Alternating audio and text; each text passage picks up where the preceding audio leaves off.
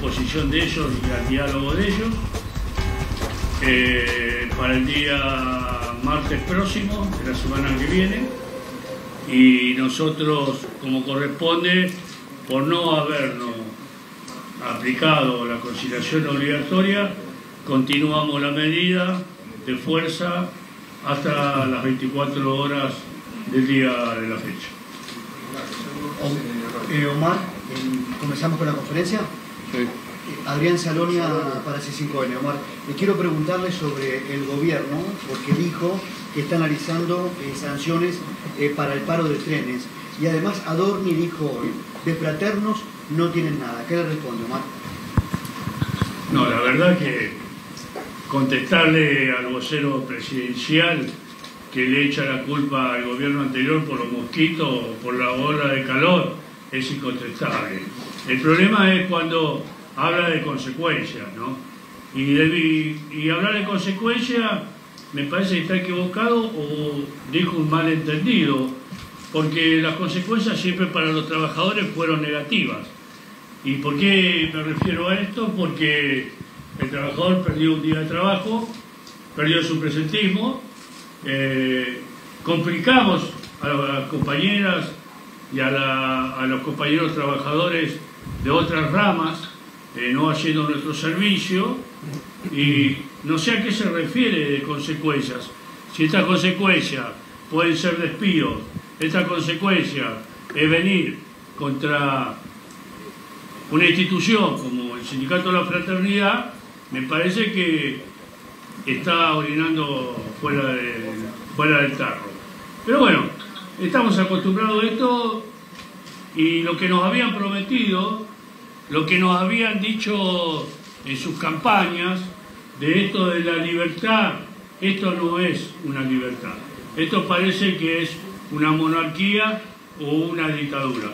Así que bueno, los trabajadores sabemos lo que tenemos que hacer, somos sabios, somos pensantes, tenemos materia gris, así que bueno, esperaremos qué hace el gobierno y nosotros, como lo dije hace un momento, seguiremos con la medida de fuerza. Quien habla es Omar Maturano, acaba de fracasar el intento de levantar justamente el paro. Repito, fracasó la reunión entre el gobierno y los gremios ferroviarios. Sigue el paro de trenes. Winocur, ¿cómo te va? ¿Cómo estás? Te quiero un dato para tener en cuenta. Cuando en general se anuncian estos paros de trenes con tanto tiempo de anticipación, de trenes de colectivos, se anuncian para que el gobierno dicte la conciliación obligatoria y la medida se deje sin efecto. Todos Sí. amenazan, pero la gente no lo padece.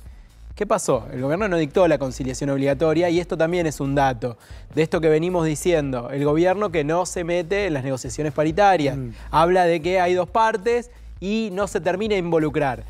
Eh, sumado a un Adorni, sumado a un Adorni que levanta la tensión. Escuchemos un poco más a Maturano, a ver.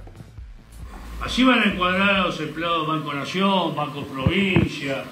eh, e- en este concepto, acá nos quieren encuadrar en algo que verdaderamente no corresponde. Y el desfasaje del bolsillo es muy amplio que venimos perdiendo y nos quieren encuadrar en aumentos por decreto. Y nosotros no vamos a aceptar aumentos por decreto. Los decretos la gran mayoría de los decretos era en la época, en la década del 70. Y después aparecieron presidentes democráticos con decretos y también gobernaron por decretos, pero no así en contra del bolsillo del trabajador. Y este ajuste que lo iba a pagar la casta, lo estamos pagando los trabajadores. Así que bueno, ya pasa esto por la política que tiene el gobierno, una política que nos mintieron, pasa por la falta de respeto a las instituciones democráticas, como son los sindicatos, como es la justicia y como todas las instituciones que nos están faltando el respeto. Bueno, es problema del gobierno, es problema del presidente, del vocero presidencial. Nos escandalizábamos cuando le escuchábamos a la señora anterior que era vocera y no nos escandalizamos cuando escuchamos al señor este. Quien habla es Omar Maturano, reiteramos, Pablo, fracasó la negociación entre el gobierno. En verdad, nunca el gobierno convocó una conciliación, lo cual marca evidentemente, marca evidentemente una postura y una manera de plantarse el gobierno frente a eh, los gremios. Vale hacer la aclaración acá que en el medio de todo esto, en el medio de eh, la fraternidad y el gobierno, hoy un millón y pico de personas no pudieron viajar como corresponde. Y generalmente un paro de trenes afecta al propio laburante.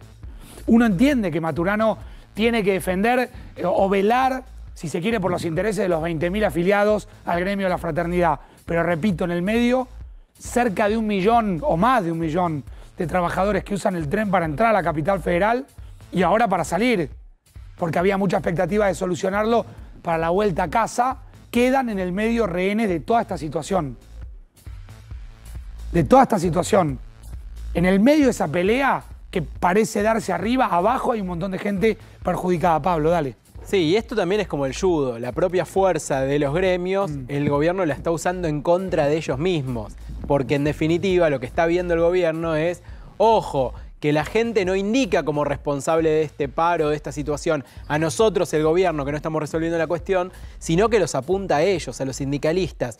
Entonces me parece que hay que seguir muy de cerca esta estrategia que está usando el gobierno, que me parece que al final del camino puede llegar a ser efectiva, porque los sindicatos son uno de los sectores más desprestigiados de la sociedad y obviamente esto les puede impactar negativamente. Por eso Ojo con el uso y abuso de estas situaciones de paros, paros eh, de transporte, paros generales. No sé si van a ser tan efectivos. Voy un minutito más con Maturano a ver qué dice. Caliente la conferencia de prensa en vivo ahora, la escuchamos. Que largue un plan de lucha y se ponga al frente de, de la protesta de todos los sindicatos, que es primero el trabajo y después es el salario, como también es nuestra salud. Omar, eh, Omar ah, eh, de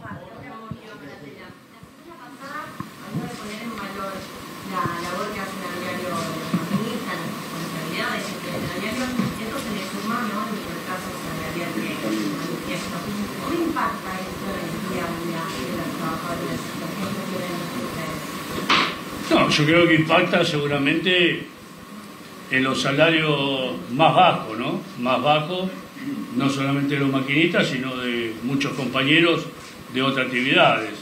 Eh, que impacta que, bueno, no, se llega a fin de mes, que el próximo mes ya los hijos de los trabajadores tienen que ir a la escuela, eh, de que tienen que encarar el tema de la salud, eh, el tema de del aumento desmedido que hacen los supermercados.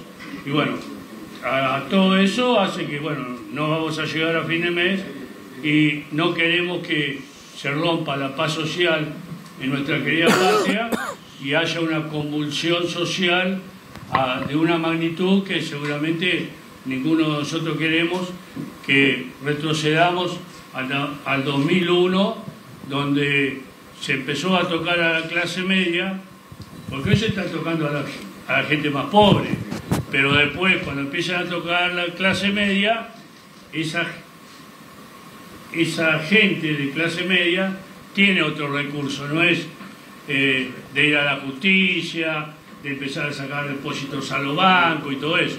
Así que bueno, esperemos que este, este gobierno se alinee, ¿no? que alinee un poquito los patitos y tengamos una solución a todos los, problemas que tenemos. Omar, de América y A24, Gabriel Prosperi, ¿qué se le dice a la gente? ¿Qué se le dice al ciudadano común que hoy no tiene trenes? Lo escuchábamos atentamente. La conflictividad social es muy probable que continúe, que se plieguen otros sindicatos que tienen que ver con el transporte, que es lo más sensible para el laburante día a día. ¿Qué se le dice a la gente hoy que se quedó de a pie o que tuvo que utilizar el colectivo, hacinados, tiene que volver a su casa, ya saben que no van a tener trenes? ¿Qué se les dice? No, se le dice claramente la situación que nosotros vivimos. Hoy nosotros fuimos los punta de lanza. Hoy nosotros nos opusimos a la política de este gobierno. Pero seguramente los perjudicamos. Seguramente los perjudicamos. Pero, ¿cuál es la salida? ¿Que vamos a conducir más trenes para hacerle daño a alguien? o para hacerle ver al gobierno qué es lo que nos pasa, si no tenemos los trenes para conducir más. No podemos estoquear como hacen los japoneses o los chinos. No, nosotros es esta medida de fuerza que podemos hacer. O vamos a ir a una medida de fuerza de trabajo reglamento. Y seguramente van a viajar peor que lo que viajan hoy. Porque va a haber un tren cada hora o un tren cada dos horas. Y después, aparte, corre peligro el material rodante, como así también corre peligro el que conduce la locomotora, conduce el tren eléctrico, o también los compañeros de la Unión Ferroviaria en las distintas estaciones o el guarda, porque los pasajeros directamente van a ir contra ellos, porque van a decir que demoran los trenes. Así que para, para evitar todos esos conflictos, decidimos hacer, como toda la vida lo hizo la fraternidad, un paro de 24 horas. ¿Y por qué cree que el gobierno no hace la conciliación obligatoria? En realidad no la dictó en esta oportunidad. No, no la dictó porque nos explicaron que es la nueva política de este gobierno de no aplicar conciliaciones obligatorias, que la tendrían que haber hecho para tratar de preservar la paz social de todos los argentinos, no solamente de los maquinistas. Lola. Lola.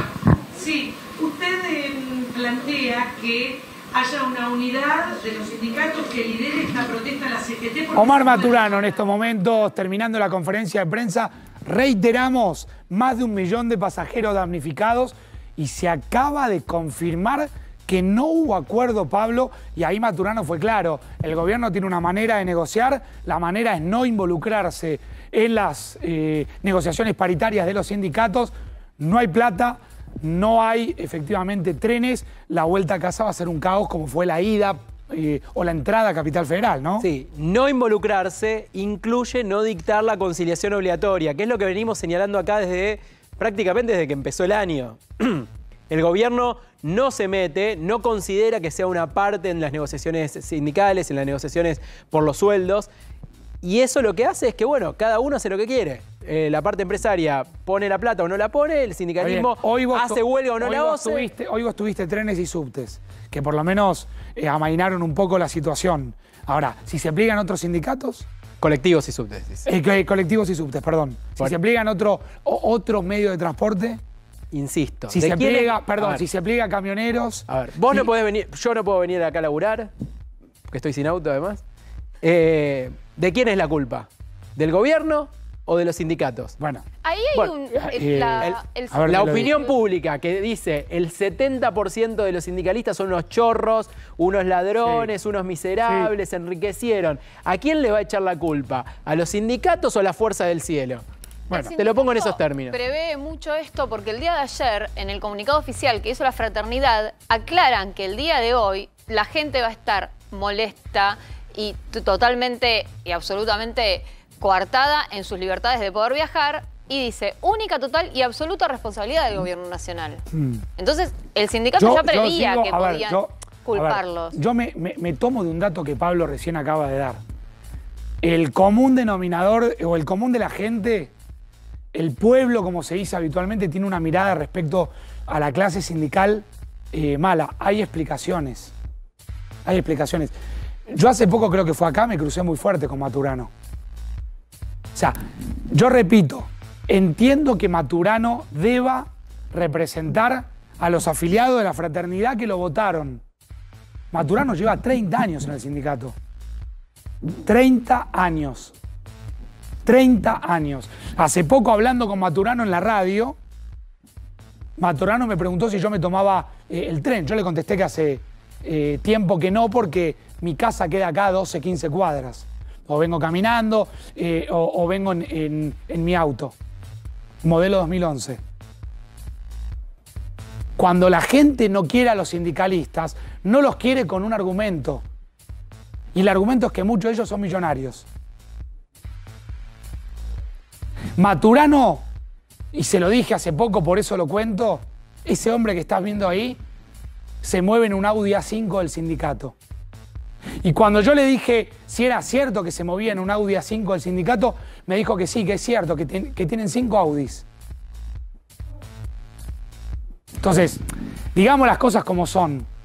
Ni un gobierno profético que evidentemente por cuestiones dogmáticas, filosóficas e ideológicas no se mete en las cuestiones paritarias, que tampoco esa es una solución, porque en definitiva, cuando eso sucede, repito, también hay cerca de un millón de damnificados. Ni un sindicato con, popes sindicales que se muevan en un Audi A5. Ni una cosa ni la otra. Que es eh, una suerte de péndulo en el que la Argentina va desde hace muchos años. No hay algo en el medio que pueda ser un poco más normal. Ni sueldos que hambreen al trabajador, ni sindicalistas millonarios, ni un gobierno sordo. En el medio de todo eso tiene que haber algo. Tiene que haber una solución. Tiene que haber un punto medio. Porque si no, ¿qué pasa? Lo que acaba de pasar. El gobierno dice, yo no me meto en la conciliación obligatoria. Los sindicalistas dicen, el gobierno no se mete. El paro continúa. No hay instancia de diálogo. No hay una solución. No hay interlocutores. No hay un ministerio. Ya, no es más Ministerio de Trabajo, ¿no? No, secretario. Bueno, no hay, no hay Ministerio de Trabajo. Y en el medio, repito, un montón de gente que o no pudo cumplir con un turno médico, o no pudo cumplir con un trabajo, o no pudo cumplir con, con, lo que quería cumplir. En el medio tiene que haber algo. No lo hay. ¿Sí? No lo hay. O por lo menos no, no, no, lo, no lo está viendo. Repito para que quede claro. Repito para que quede claro. Tiene que haber un grado de negociación, porque esto, estamos a 21 de febrero. Está parando la sanidad, mañana, para, pararon hoy los trenes, la CGT analiza un nuevo eh, paro, los docentes no saben si efectivamente, entender el entramado de, los sindicatos docentes es muy complejo. Ahora, si efectivamente no creen o no hay una apuesta por el diálogo, que evidentemente no la hay, evidentemente no la hay, evidentemente no la hay. Eh, vuelvo un minutito a la conferencia, a ver si está Gabe. Ah, está eh, Pollo Sobrero.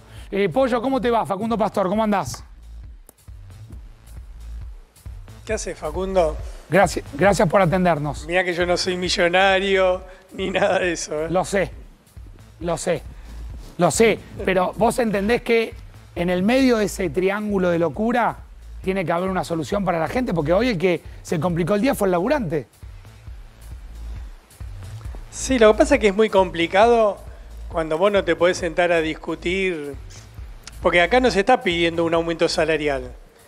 Lo que se está pidiendo es ver si podemos recuperar lo que perdimos con la inflación. Ni siquiera estamos pidiendo aumento.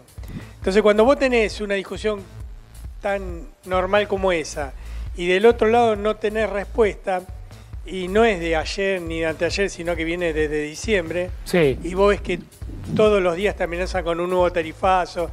No te voy a contar algo que vos sabés perfectamente igual que yo, porque lo estamos sufriendo todos. Pero la, la, nos están pulverizando los salarios.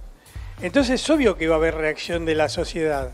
Yo, ah, eh, yo igual que vos, opino que sin diálogo como está haciendo este gobierno, nos vamos al tacho todos. Ahora, yo te hago una pregunta, Pollo. Yo te hago una pregunta. ¿Ustedes han intentado hablar con el gobierno? ¿Con quién? ¿De qué manera? ¿Cómo? ¿Y con qué se encontraron del otro lado? Sí, no sé. Con una pared. ¿Con una? Pero lo que nos está pasando a nosotros. ¿Con, una, pared, dijiste? Lo que nos está pasando a nosotros. Sí, con una pared. Nadie te responde nada. Eh, lo que nos está pasando a nosotros, le está pasando a todo el mundo. Eh, vos estás viendo que todos los gremios están con problemas muy serios con el tema salarial.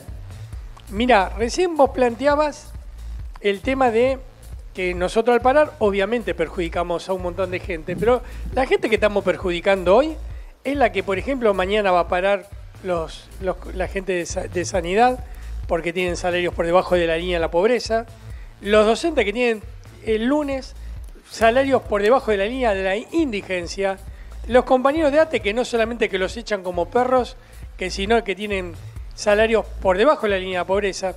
Entonces, vos ante una situación como esta, Sí. si no te sentás, si no entendés que tenés que gobernar para todos, no solamente para la macroeconomía, sino que eso tiene que verse reflejado abajo en el tipo común. Sí.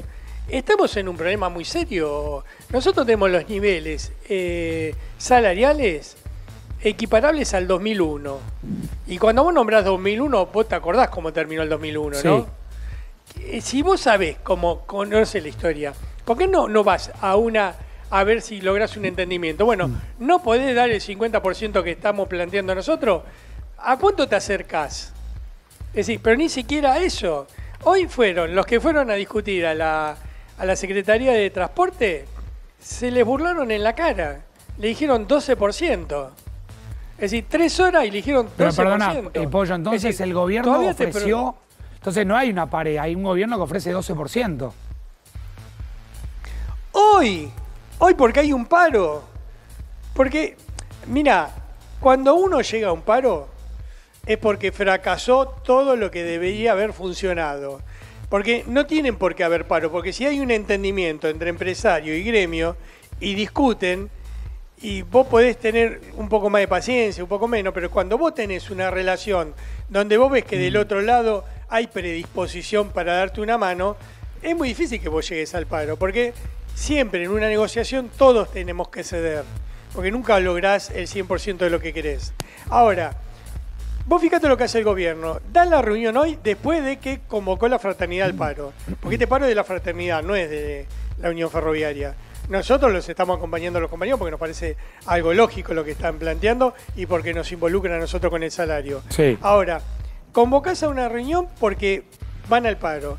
En medio del paro, para mostrar que estás ofreciendo algo, ofreces el 12% Sí. cuando sabés que te están pidiendo el 50%.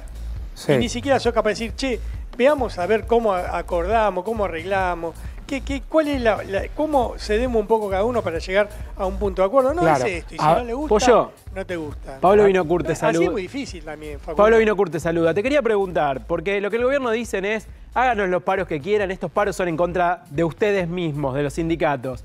¿Por qué? Porque la gente eh, considera que están completamente desprestigiados, algunos por cuestiones de enriquecimiento, lo que sea, otros, como puede ser quizás tu caso, que sabemos que, que no, no es tu caso el del enriquecimiento, pero sí por el, el método de la protesta. Entonces, esto, la protesta en este momento, ¿no los perjudica a ustedes de alguna manera? Mira, yo camino por la calle solo. Yo vivo en Aedo, todos ustedes me conocen. Veraneo siempre en el mismo lugar, en San Bernardo. Yo no tengo ese problema. Sí, claro que tenemos dirigentes gremiales que honestamente... eh, bueno, vos conocés cuál es mi opinión de ellos. Sí, sí, sí. Sí, Pero sí, claro, por es eso, por hice la... problema lo nosotros preguntamos también, tenemos- Pollo. Sí, sí, sí. Pero el problema que nosotros tenemos hoy es que todos los trabajadores están reclamando. Entonces, cuando todos los trabajadores reclamamos, eh, bueno, ahí eh, tenés un problema. Porque por más que vos quieras echarle la culpa al gremialista, una vez eso puede ir, dos veces también, pero en un momento te va a decir, bueno, está bien, el dirigente gremial que tengo yo es un es malísimo, todo lo que quiera. Ahora, yo me estoy cagando de hambre, yo tengo que pagar la luz, yo tengo que pagar el gas. Si vos a mí no me, no me solucionás el problema, Pero, ¿a quién te Pollo, que van a escuchar? el- el- la ¿Al persona que se tiene que subir al la persona que se tiene que subir al tren para llegar a laburar porque está igual o peor que el que está haciendo el reclamo. Eh, ¿A quién va a responsabilizar en, en el largo plazo? ¿A ustedes o al gobierno? Esa es la pregunta, me parece. Mira, yo te, la, yo, te la, yo te la hago muy clara. A ustedes, es un, ustedes son un programa que lo miran millones de trabajadores. Yo le pido a todos los que nos están mirando y a todos los trabajadores que no entremos en una pelea de pobres contra pobres, porque eso es lo que quiere el gobierno. Porque mira, mañana hay paro de sanidad. Si yo mañana voy al hospital, no le voy a echar la culpa al médico que no me atiende porque está reclamando. Me voy a solidarizar con él. El lunes no voy a poder mandar a los pibes al colegio. ¿Sí?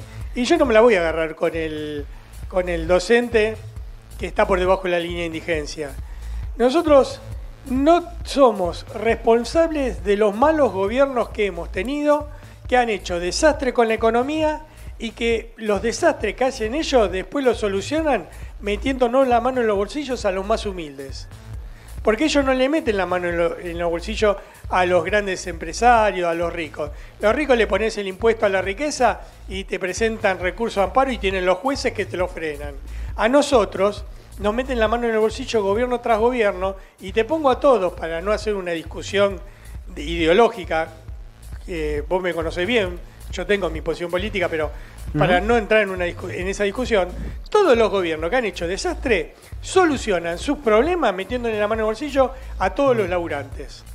Y eso está mal, Facundo. Está mal. No puede ser que siempre seamos los mismos los que terminamos pagando los platos rotos de las malas decisiones políticas que toman otros. ¿Por qué tengo yo que ahora pagar la luz un 300% más que va a venir de... ¿Cuál, ¿Cuál es el precio de la luz real para saber cuánto es lo que tengo que pagar? ¿Cuál es el precio real del gas? ¿Cuál es el precio de la comida? Que le damos de comer a 400 millones de personas y hoy tenés gente que está comiendo en, en- en comedores populares que ni Ahora, siquiera le llegan la comida Pollo, y empezás a ver gente que Yo- empieza a revolver tachos. Pero espera, yo insisto, yo insisto con que cuando vos marcás que el gobierno reacciona ahora, hoy, eh, o, o cuando vos marcás que, te- que te enco- se encontraron con una pared, yo creo que hay un formato de estrategia política ahí, de parte de- de- Claro, del gobierno. claro. El gobierno cree, como te, como te decía Winocur, que de esta manera ustedes quedan expuestos porque agarra los números, las encuestas, Claro. y ve que el 70% cree que los sindicalistas son todos chorros. Claro, pero cuando te habla alguien como yo, que yo no soy chorro, que vos, vos me ves en la cancha, Está cómo vivo, clarísimo, está vos me clarísimo, conocés. Y que, yo- y que yo te digo, y que yo te digo, no nos peleemos pobre contra pobre, porque nos están liquidando el sueldo a todos nosotros. Al revés, juntémonos nosotros contra toda la casta política, de verdad, juntémonos contra todo Mm. ellos. Porque ellos todas las cagadas que hacen, después las pagamos nosotros. Ahora, de- déjame subrayar yo, algo. veo, yo te veo a vos. Uh, sí, dale, completa. Sí. Yo, yo te veo a vos. Vos cada vez laburás más. Sí. Y creo que laburás más no porque te gusta laburar, sino porque cada vez ganás menos. Como me pasa a mí, como le, pasa a cualquier otro. ¿Por qué nosotros tenemos que vivir cada vez peor si nosotros no somos los responsables de lo que está pasando? ¿Por qué aquellos que vienen, hacen los desastres que hacen en los gobiernos, no pagan nunca? Después lo ves que andan en yate con los gatos como Insaurralde, lo ves a los grandes eh, paseando por, por lugares que a mí me parece bien que aquel que trabaja y que gana un sueldo pueda disfrutar la vida. Pero ¿por qué yo tengo que pagar las cagadas que hacen otros? ¿Por qué mis compañeros que se levantan a las 3 de la mañana para que el tren ande, Mm. No, está claro. tenemos que ver cómo se nos la evalúa idea, todos los días? la idea eh, Rubén, que vos planteás de, de no, digamos, de no confrontar pobres contra pobres, está claro. Ahora, me quedo pensando, no hay un pedido de Y aumento. ayudanos. Eh, Claro, eh, Ayúdanos hola Martín. ¿cómo te va? ¿Cómo andas? Gracias, por- gracias por estar. Cuando el pollo habla de que no hay un pedido de aumento, sino es una recomposición, una, una recuperación, les ofrecen un 12, están muy por debajo de la recuperación. Es que está- todos los sectores están en la misma, están tratando de ver cómo hacer para acompañar una inflación que ya te llevó por delante los meses anteriores. Digo, no es una política de recuperación de ingresos, es una política de, eh, de alguna manera, contención del daño que significó la inflación pasada. Entonces, cuando vos te encontrás con una inflación de diciembre del 25 más una del 20 de enero y la oferta del gobierno es 12, y suena poco. la Claro. ¿El pollo la fraternidad le paró a Alberto? Creo que hubo un paro. Eh, cuatro paros le hizo Alberto. Cuatro paros le hizo a la fraternidad. Nosotros Alberto. participamos. Sí, nosotros de esos cuatro participamos en dos. Porque mi gremio no le hizo ninguno. Si querés, ahí tenés uno. La Unión Ferroviaria nunca le hizo paro a nadie. La única vez que paró en los últimos 40 años, ¿sabe cuándo fue? Cuando pedían la libertad de Pedraza que habían asesinado a Mariano Ferreira. Que vos lo cubriste esa Esperá, nota. da- dame, dame pollo un minutito que hay una información urgente, un dato que, viene manejando, que te va a interesar. Dame un minutito, no me voy del móvil con el pollo sobrero, día cargado de información. Pablo, urgente, dale.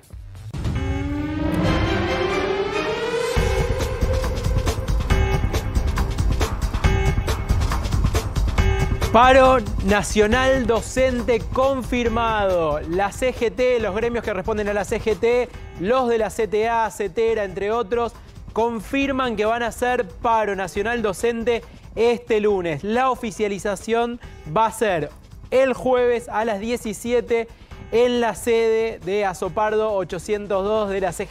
Sí. Confirman los gremios docentes que van al paro y lo van a oficializar Ahora, en el día de mañana. Cetera se va a plegar a esto porque ayer se había eh, hablado de cuatro. eh, El entramado de sindicatos docentes es muy complejo. complejo, son mu- sí. muchísimos. Sí. Y aparte recordemos que hay eh, eh, eh, algunos espacios que son por jurisdicción. Ayer había- se habían expedido cuatro, cua- cuatro sectores de docentes. Sí, que son, va a que son los que están enrolados en la CGT. A esta hora lo que yo te puedo confirmar es que Cetera va a acompañar este paro Bien. en sus distintas... Puede haber alguna retractación después, tanto Cetera como aquellos gremios que responden a la izquierda. Quizás que- ahora le podemos preguntar al pollo, decía- ¿no? También. decía eh, Por, el pollo por recién. eso, recordamos también hay un sector como Ademis que eh, está vinculado a la izquierda. Son distintos sectores gremiales. La idea es confluir hacia un paro nacional docente este lunes. La oficialización va a ser mañana a las 5 de la tarde en la CGT. Con lo que está diciendo, no vuelven las clases. No vuelven las clases. No. Digo, este es el título. Eh, hoy no hubo trenes, mañana no hay hospitales, el lunes no arrancan las, las clases. No. Esto, digo, hay que quedarse con esta idea clara, Pollo. Y, eh, perdón, antes que diga una, una aclaración. Yo te decía, yo, yo lo de. Perdón, pollo un segundo. Hay sectores, hay provincias que dicen nosotros estamos bien, pero vamos a adherir a nive- por lo nacional. A nivel nacional nosotros queremos adherir independientemente de lo que pase en nuestros distritos. Sí, pollo. Pollo. No, yo lo que te decía, yo, yo te lo decía porque nosotros estamos en la conducción, compañeros nuestros, en la conducción de Ademis, y la verdad que los sueldos de un docente eh, son, siempre fueron malos, pero ahora son vergonzosos. Están por debajo de la línea de la indigencia. Entonces, ¿a vos te parece que nosotros podemos tratar a nuestros docentes de esta forma? Es lo mismo que un jubilado. ¿A vos te parece que podemos tratar a los jubilados con un sueldo de 105 mil pesos? Entonces, yo no lo voté a este gobierno, vos sabés, yo no lo voté. Pero mínimamente, lo único que puedo pedirle a un gobierno que yo no voté es que nos contengan a todos, que discutan para todos. A mí qué me importa la macroeconomía si abajo la gente se muere de hambre. A mí lo que me importa es que gobiernen para todos. Había dicho, había dicho que querían gobernar y que la, que la casta sea la que pague el ajuste y no la gente. Séme honesto, Facundo. ¿Qué casta está pagando el, el ajuste? Lo estamos pagando nosotros. A no ser que nos consideremos casta nosotros, pero no lo somos. Bueno, en, en la concepción de casta que el gobierno tiene, algunos líderes sindicales sí. Te dejo afuera, apoyo de eso, pero algunos líderes sindicales sí. Habla de una casta de popes sindicales Facundo. que están Facundo, atornillados yo- a, su, a su silla, que están sentados arriba de cajas millonarias de las obras. Bueno, digo, la discusión yo creo que la conocemos todos ya. Pero Facundo, a mí me mataron, a mí, esos, esos hijos de puta, y perdoname eso a bruto, nos mataron a Mariano Ferreira. Lo tengo claro. ¿Te acordás? Vos, vos lo cubriste. Lo tengo claro. Y para defender eh, los negocios que tenían ellos. Así que nosotros lo que vos me estás planteando, que vos lo ves como un problema, yo lo sufro todos los días. Ahora, ¿por qué se pueden mantener esta gente? Porque todos los gobiernos lo critican, pero después le permiten ir con lista única, le permiten, eh, cuando surgen activistas nuevos, eh, acuerdan eh, gremio y empresario para echarlos. Cuando hay algún, algún problema que se presenta una lista de oposición, te los borran a todos, como nos pasó a nosotros en varios lugares. Entonces, seamos claros en la discusión, porque lo que vos planteás que es cierto, no nos puede llevar al problema de fondo que tenemos, es que los trabajadores la estamos pasando muy mal. Y los trabajadores tenemos que unirnos para defendernos. Está claro. Pablo. Sí, Pollo, ¿cómo se soluciona esto? Porque el gobierno no va a ceder, no va a aumentar, no se va a meter. ¿Tiene solución este conflicto? Y en nuestro caso nosotros somos trabajadores estatales, si no se mete el gobierno, ¿quién discute? Bueno, pero el gobierno... Tiene que sentarse por más que no quiera. en este caso, digo, la, la respuesta es no hay plata. Está bien. ¿Cómo hago yo para vivir si me están licuando el sueldo? Pollo Melody Sí, te yo puedo saluda. entender que me... No hay Ahí- plata, pero pará, pará. No hay plata, ¿estás seguro que no hay plata? Porque yo veo a sectores empresarios argentinos que le está yendo muy bien, ¿eh? A la mega minería le está yendo mal, a los bancos le está yendo mal, a los exportadores que tenemos en, como los que exportan alimentos le está yendo mal, a los supermercados que remarcan día a día y pagan lo que compran a seis meses. ¿Le está yendo mal? Entonces, siempre, no puede ser que siempre seamos los mismos los que ponen el hombro ante una crisis. Una vez, una vez, los que más tienen, tienen que ser más solidarios con los que menos claro. tienen. Una vez. Eh, no pedimos más de eso. Pollo, gracias por estos minutos, por la charla. Gracias, Facu. Gracias. Gracias por llamarme. Un abrazo Facu. grande. Rubén el Pollo Sobrero y de acá urgente, en vivo, me voy a recorrer Constitución. Con Fabián Rubino, a ver cómo está el clima, cómo se siente la calle. Fabi, todo tuyo. Hola Facu, buenas tardes. Claro está, porque ahora se vienen los de la primera hora, los que salieron muy temprano para trabajar y entre la 1 y las 2 de la tarde salen. Fíjate, la estación Constitución completamente cerrada. Una postal que no veíamos así hace mucho tiempo, producto de, de este paro de la fraternidad. Y como consecuencia de hecho, claro está, ahora el gran peso los tienen las líneas de colectivos, que son las que tienen que llevar, sacar a la gente de capital hacia distintos puntos del conurbano, porque obviamente tiene que regresar. Y para muchos es una verdadera odisea. ¿Por qué? Porque tienen que tomar combinaciones, o algunos tienen que pagar de más también, y otros rebuscar, rebuscársela como Sí. pueden para poder llegar a su lugar de trabajo. ¿Cómo le va, señora? ¿Qué dice? Buen día, disculpe que la moleste. Hola, buen día. ¿Cómo anda? ¿Cómo la pasó hoy sin trenes?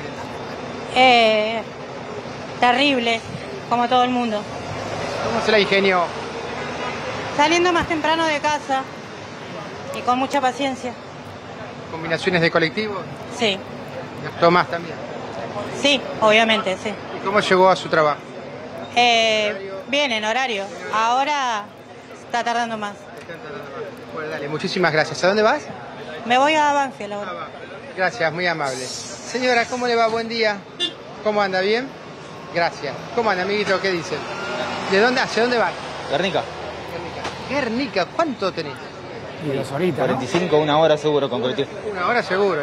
¿Y en colectivo? Con colectivo una hora más o menos, sí. ¿Cómo la, cómo la pasaste esta mañana? Ah, bien, por ahora voy bien. Sí, hace media hora esperando colectivo, pero bueno. ¿Hay menos colectivo, notás? Eh, no, están andando seguido, pero no viene el que yo necesito. Gracias, amigo, muy amable. Bueno, de alguna u otra manera, saber el termómetro de la calle en esto que el pollo sobrero contaba, de que la gente está apoyando. ¿Qué opina la gente? ¿Está bien lo que hizo el sindicato de ferroviarios en este contexto de bueno, a ver, vamos a ver qué, no? qué opina la gente. ¿Qué dice mi amigo? Lo molesto un segundito. Ya Bre- ya, pero Eh, otra vez, ya estamos. Brevemente, ¿qué opinas del paro? ¿Estás a favor o en contra? Y estoy en contra porque hoy tenía que hacer trámites y demora dos horas y está todo complicado, complicado. Gracias, mi amigo. Señora, le hago una preguntita. ¿Cómo te va? ¿Estás a favor o en contra del paro? No. La verdad que Te hago una consultita. ¿Cómo te va? ¿Estás a favor o en contra del paro? No tengo ni idea, nunca uso el transporte. O sea, es la justo hoy tuve que venir para Capital, así que no sé cómo se manejan. Gracias, mi amigo. ¿Cómo te va? ¿Complicado hoy para viajar? Sí, está terrible. ¿Tardaste mucho? Sí. Y como usuaria, ¿qué opinas eh, del paro? ¿Estás a favor o estás en contra? Me abstengo. Dale, muy amable. ¿Cómo anda, mi amigo? ¿Qué dice? Bueno, gracias, Paz, muy amable. ¿Cómo te va? Tengo una consulta. ¿Cómo anda, señora? ¿Qué dice? Hola, amigo, ¿cómo te va? ¿Todo bien? Vamos a recorrer un poquito más la cola aquí de, de pasajeros. ¿Cómo te va? Buen día. ¿Cómo les va, chicos? ¿Hacia dónde tienen que ir? A Bursaco. Bursaco. ¿Se te complicó la vuelta? Más o menos, estamos recién esperando. ¿Qué opinas vos? ¿Qué edad tenés? 16. ¿Estudiás? Sí. Estudiás. ¿Y qué opinas del paro? ¿Está bien? ¿Está mal? No tengo idea de por qué es. Me enteré de la mañana. De la banca. Muy amable. ¿Cómo le va? ¿Qué cuenta? ¿Cómo anda? ¿Todo bien por aquí? ¿Cómo te la rebuscaste esta mañana para volver a tu trabajo? El 51 Express. 1800. ¿Gastaste más? Sí, el triple. ¿Qué opinas del paro? ¿Estás a favor o estás en contra? Y en contra, porque no llego a mi trabajo así. Sí, Fabi. Obvio que en contra. Sí, Fabi. Gracias, muy amable. Fabi, espérame. Sí, Facu. Pe- eh, bueno, dale, dale, seguí. Seguí que estamos trabajando ahí con, con varios datos que nos llegan. Pero seguí vos, seguí vos, seguí vos un poquitito que Dale, dale, es importante escuchar a la, a la gente. Dale.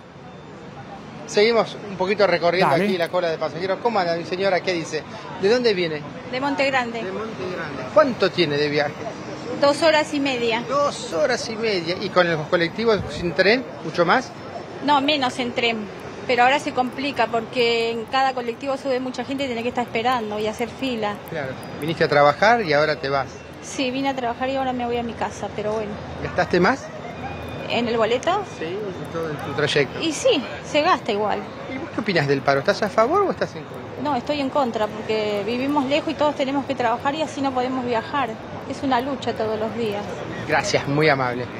¿Cómo anda, amiguito? ¿Qué dice? ¿Todo bien? Eh, por ahora ponele. ¿Hacia dónde vas? Hacia Avellaneda. Cortito. Eh, no, rapidito, por suerte, sí. ¿Siempre tomás el tren? Siempre tomo tren, me parece la, la manera más factible, la manera más rápida. ¿Y hoy cómo te la arreglaste? No, te juro que me había olvidado. Vine confiado a tomarme el tren con ¿Y el cabecita de novio? No, no, no, cabecita de novio no. No, no, tranquilo. Pero vine confiado y ahora no, estoy un poco atrasado ahora ya. ¿Llegaste tarde al trabajo? No, no, no, trabajo a la tarde, estoy yendo a buscar a mi nene para ir a la peluquería. Ah, está perfecto. Sí. ¿Estás a favor o estás en contra del paro? Eh, la realidad que no sé en concreto por qué se hizo, o sea, no quiero darme... Horas salariales. Claro, y la verdad que sí, o sea, entonces sería una a favor, porque la verdad que, que va, lo que yo veo, ¿no? Eh, la gente labura, la gente trabaja, estar arriba de un tren no debe ser lo más lindo, así que yo creo que deben tener un sueldo adecuado. La verdad que yo soy empleado de comercio y, y un empleado de comercio, dentro de todo, estamos ganando bien, y un empleado que maneja un tren, como te digo, todo el día, no creo que sea lo, lo adecuado estar arriba de un tren y cobrando miseria. Gracias, mi amigo, muy amable. Bueno, se va terminando la cola, llegó el colectivo, parece. A ver si estamos con uno más. El Dale. último, Facu, si te parece. Ahora, Fabi, ¿Cómo tengo le la va? sensación, por Sí. haber visto, eh, por haber visto eh, la señal durante gran parte de la mañana, que claro, vamos camino, ya son las 2 de la tarde. La gente cambia de Melody la manera de volver a casa, evidentemente Se va colmando constitución. Y esto se debe replicar a retiro, se debe replicar a 11. Digo, la vuelta a casa va a ser un caos. Sí, y además te toma más cansado, con menos pulgas, diríamos, en casa, porque evidentemente trabajaste y tenés que volver a tu casa. Y con el calor, es un adi- aditamento importante, Facu, porque hace muchísimo calor y vos lo sentís. A ver, vamos a ver los últimos de la cola. ¿Cómo te va? Buen día. ¿Cómo te va? Te hago una consulta. ¿Hacia dónde vas? Hasta Lomas, Loma. ¿Cómo te la arreglaste hoy para poder viajar sin tren? en colectivo. En colectivo. Sí. ¿Pagaste mucho más? Eh, sí, tuve que hacer todo el viaje. ¿Tardaste mucho más? Sí, más de una hora y media. Fue un trastorno. Sí. ¿Y ahora cómo haces para volver? Y también me tengo que tomar otro colectivo y dos colectivos. ¿Trabajás, estudiás? Sí, trabajo. ¿Y estás de acuerdo o estás en contra del paro? Eh, no, no, no opino. Dale. Muy amable, muchas gracias. Bueno, Facu, seguimos. Vos dirás, manejás. El que maneja sos Vamos vos. un poquito más, vamos un poquito más. Yo, eh, si, mirá, si pudiera manejar, subo a todos y los voy repartiendo uno por uno en sus trabajos y domicilios. Igual es muy Pero va a estar complicado, ¿eh? Eh, Yo no sé si anduvieron por la calle hoy, pero... ¿Pitito? Eh, Pitito, claro. Pitito, ¿cuánto llevas? Cuatro. Hemos llevado... ¿Cuatro claro. Hemos llevado Ahora cuatro, no. cinco. Eh, Fabi, dale Sí, vos. Hemos ido ocho en un, como- en un uno. Es, es como que todo se junta, Facu. Eh, el calor, Los el mosquitos. cansancio y la gente está obviamente cansada después de todo un día de trabajo. A ver, ¿cómo le va señora? ¿Qué dice? ¿Cómo anda? ¿De dónde venís? ¿Hacia dónde vas? Trabajo en Barraca Belgrano, pero tuve que salir más temprano por el tema de que no hay tren. ¿Y a dónde vas? Hasta Gleu. Hasta el- ¿Cuánto tardás? Y ponele una hora y media. Una hora y media de tu vida viajando, tres horas, digamos. Y sí, ¿Cómo la- ¿Y cómo la pasaste? Hoy mal, porque estuve una hora en la fila esperando el colectivo y llegué tarde también, ahora salí más temprano. Por el tema es que no sé cómo vamos a viajar más tarde. ¿Vos notás que hay menos colectivos? En la línea que yo tomo, no. El 51 y el 160 que tomé hoy a la mañana, pero no, no había lugar para viajar. Mucha gente, obviamente, abarrotado. Así que es un desastre. Bueno, mi vida, que tengas buen regreso. Uno más, ver, Fabi, dale. ¿Cómo anda, mi amigo? ¿Qué dice? Bien, acá andamos. ¿Vos cómo andás? Con un poco de calor. Eh, ahí, ¿Vendés acá? Vendo acá, sí. Sí, ¿vos también? En realidad, eh, me muevo por las dársenas. Claro. ¿A vos te afectó el paro? Eh, un poco sí, a la mañana más que nada. Pensé que había, iba a haber mucha más gente, pero hubo menos caudal de gente. ¿Vos utilizás el tren? Eh, no, vivo acá, no. Sí. ¿Cómo, cómo ves el termómetro vos que estás acá todos los días en Constitución? ¿Cómo ves el termómetro de la gente? La gente yo pienso que se adapta a todo. Porque no, ya ni se queja la gente, o sea, directamente no hay comentarios. Viven, yo creo que viven, viven, tratan de llevar, llevar, llevarla como pueden, sí. Fabi, ¿me amigo, sabia reflexión, ¿no? Fabi, me, espérame, espérame, no me, voy de, no me voy de Constitución. No me voy de Constitución, porque cuando aparece Fabi en la recorrida con la gente, el público se engancha muchísimo, pero están pasando cosas. Ya vuelvo 30 segundos, Fabi, escuchá, porque seguramente te va a interesar. Eh, es una tarde plagada de información y de rumores. Por supuesto que no vamos a dar nada que no tengamos confirmado. Estamos con Winocur permanentemente eh, y con Melody chequeando información sobre lo que pueda llegar a pasar. Dame la barrida de urgente, por favor.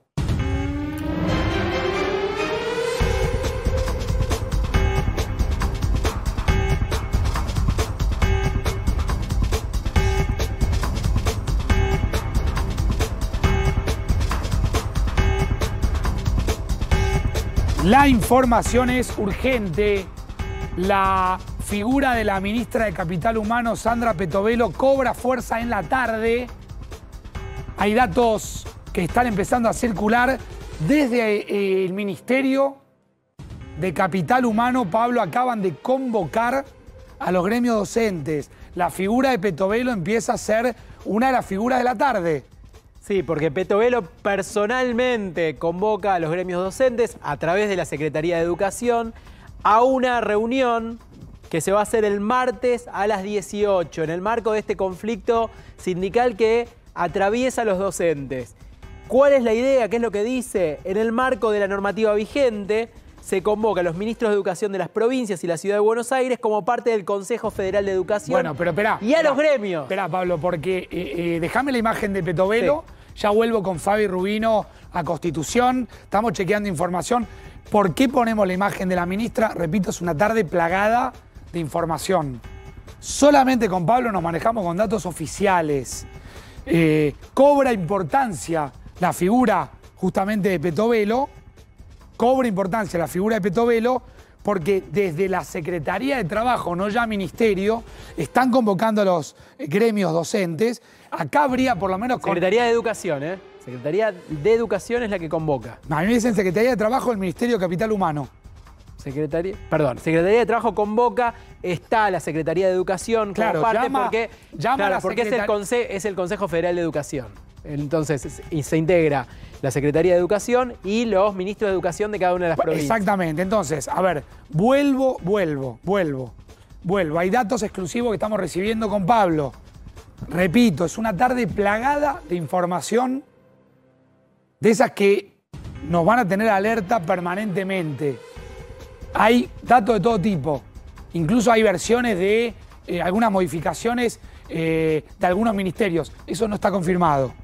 Por ahora, la Secretaría de Trabajo, que depende de Sandra Petovelo, está convocando a, la se- a- a los primero a la Secretaría de Educación, a los ministerios de educación provinciales, para seguramente armar una gran mesa de cara a lo que va a ser el lunes. En esa reunión también van a estar, esto es al martes, o sea, después del paro nacional. Sí. Van a estar los ministros, van a estar los gremios, o por lo menos están invitados, y va a haber representantes de la educación privada.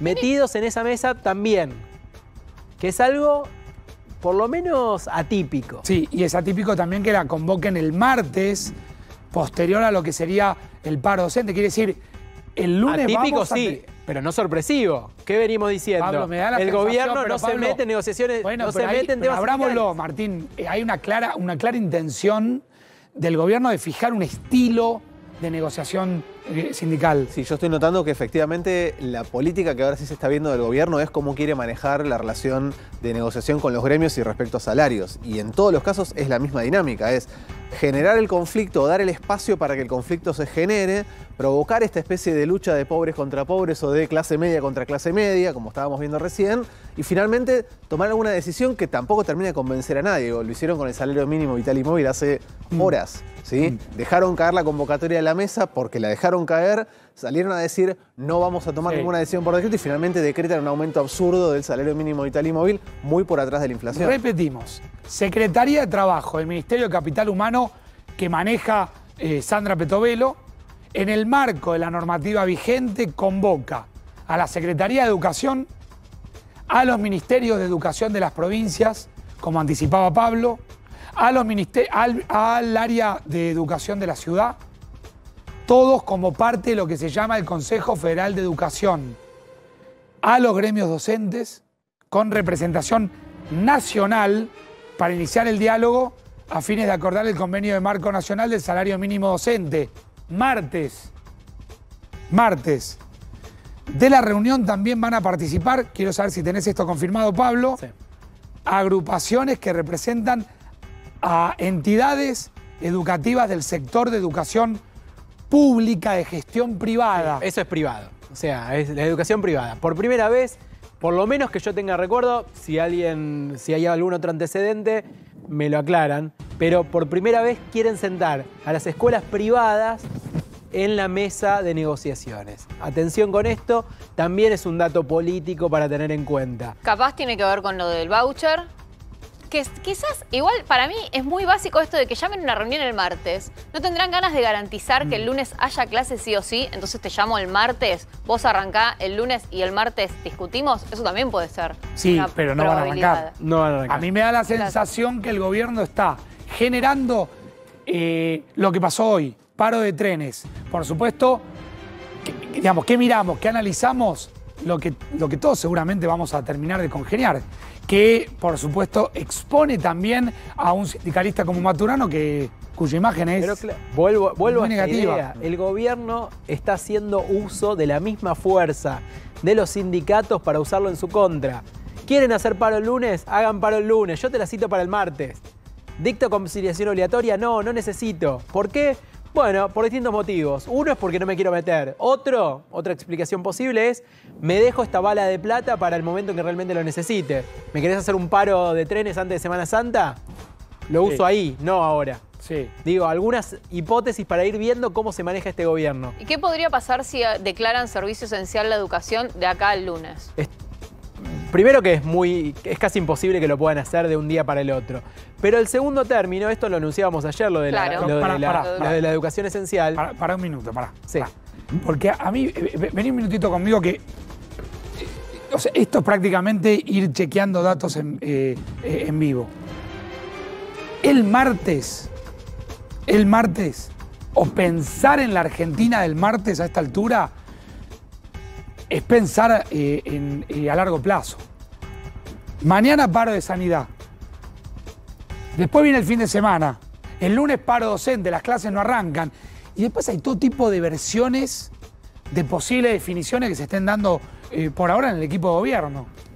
Entonces, pensar en el martes, Sí. Es muy largo plazo eso, en esta Argentina. ¿vos tenés ratificado todo el gabinete, Pablo? Yo- hasta ahora sí, todos en funciones. Ahora sí hay ciertos malestares que se empiezan a conocer, quizás vinculados a estas temáticas. ¿Hay dos visiones hacia adentro del gobierno de cómo encarar los conflictos eh, gremiales? ¿O hay una sola visión? O como dijo alguna vez... Me parece que es más eh, una cuestión de estilo o que de visión. Está bien, estilo es formato político a esta altura. Nada de estilo, dejémoslo para, eh, si se quiere, Pablo, discutámoslo igual, pero dejémoslo para la moda. O de poder. Dejémoslo para la moda. Es decir, hay inevitablemente una manera de encarar los conflictos sindicales por parte del gobierno, que es tensar hasta último momento, exponiendo a los sindicalistas. A ver, el gobierno está, sabe y tiene claro, y Milei lo ha manejado muy bien, qué imagen tiene Baradel, qué imagen tiene Maturano, qué imagen tiene eh, Moyano, qué imagen tiene la CGT, lo dijiste vos, vos en el comienzo. Sí, igual yo coincido, pero en el medio tenés millones de personas que viven el día a día y saben que... y también millones de personas que están podridas de un ah, montón de cosas. Total, Claro, total, hay, un en el medio, hay un mientras tanto. Es como el tema comedores. El tema de comedores, eh, a ver, cuando todo es verdad y todo es mentira, la realidad es la que termina perdiendo. Hay gerentes de la pobreza, como plantea el gobierno, que agarran el bolsón de comida y negocian para hacer política en pos de sus intereses. Hay. ¿Hay algún miserable que agarra el bolsón de comida que debiera ir para los comedores y merenderos y los vende en la feria de barrio? Hay. ¿Hay hambre? Claro que hay. Hay también comedores que no tienen nada que ver con la política y que se la juegan todos los días para darle comer a 100, ocho- eh, o- eh, se- se- 600 familias. Hay. Ahora, todo es verdad y todo es mentira al mismo tiempo.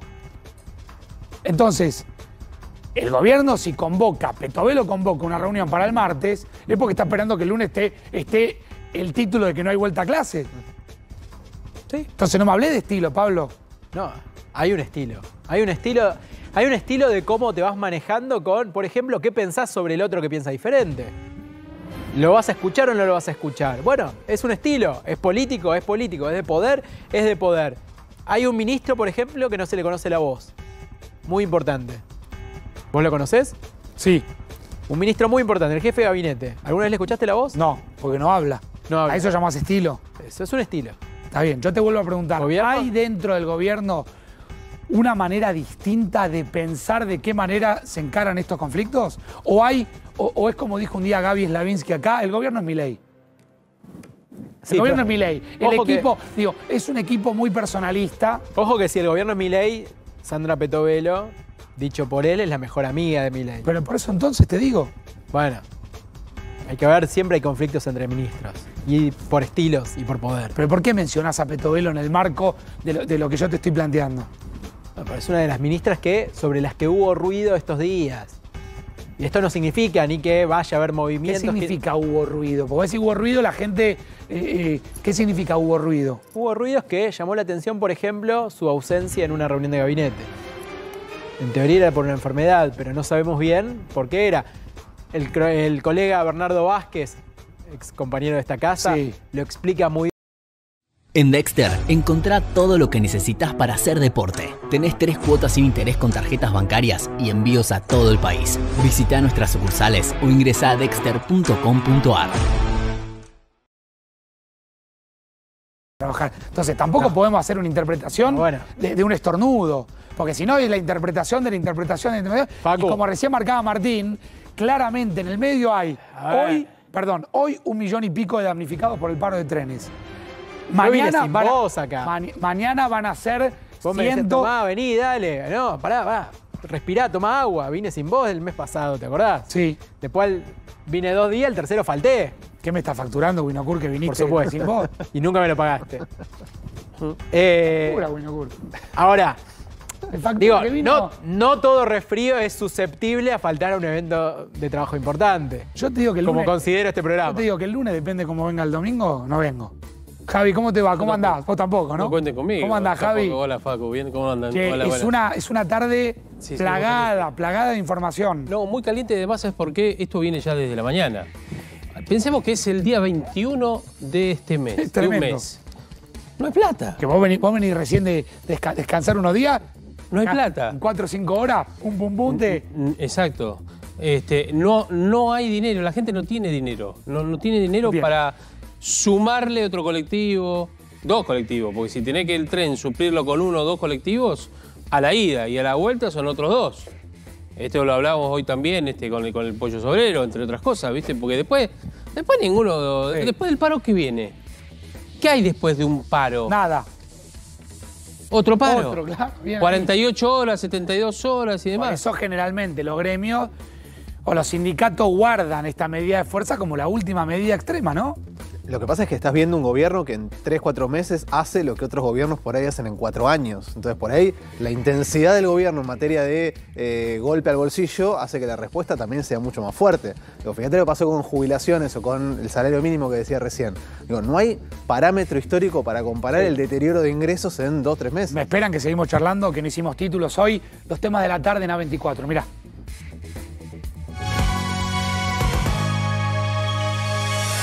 Reiteramos, te enteraste aquí en A24, paro de trenes, no hubo solución. Más de un millón de damnificados. A la medianoche comenzó la medida en respuesta a la falta de discusión paritaria en torno a lo que llaman recomposición salar- salarial. El sindicato de la fraternidad dijo que fracasó la reunión con el gobierno y además, lo que mencionaba Martín, jubilaciones, la mínima será de 137 mil. ¿sí? El aumento será del 27,18. Veremos, lo vamos a discutir en un rato, si hay o no bono para los jubilados. Y también, ahora lo ampliamos con Javi, mataron al jefe de seguridad de la Guardia Urbana del municipio. El funcionario Roberto Eduardo McDonald fue interceptado cuando se disponía a regresar a su casa. En instantes ampliamos.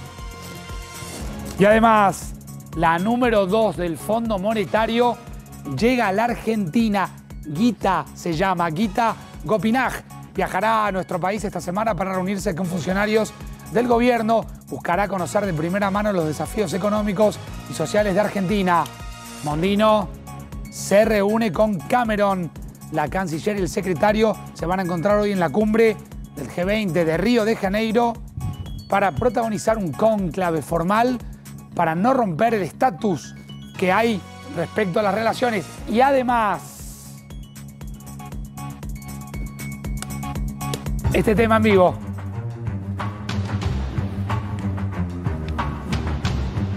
Javi, la historia policial de la tarde. Sí, exactamente, porque mirá, ayer alrededor de las 9 de la noche, cuando McDonald, que como contabas vos recién en los títulos, el jefe de la Guardia Urbana del municipio de La Matanza estaba llegando a su domicilio, un ex policía, estaba armado, eh, llegaba de esta manera y fue interceptado por motochorros. ¿eh? Otra vez tenemos que hablar de este flagelo que ataca en todos lados en nuestro país, fundamentalmente en el, en el conurbano. Miren, miren lo que ocurre, la escena, ¿no es cierto? Eh, dos tiros, por lo menos seis tiros eh, escucharon algunos de los vecinos y de lo que vieron, obviamente, también los efectivos policiales que llegaron allí al lugar. Dos por lo menos impactaron por la espalda en McDonald's, es decir, en la víctima, que fue trasladado al hospital Paroicien, justamente allí en la zona de Casanova. Eh, y vos sabés que eh, ya agonizando prácticamente, una de las preocupaciones que tenía es que los delincuentes no ingresaran en ese garaje donde él guardaba su camioneta. Y le decía a los vecinos, cierren el candado.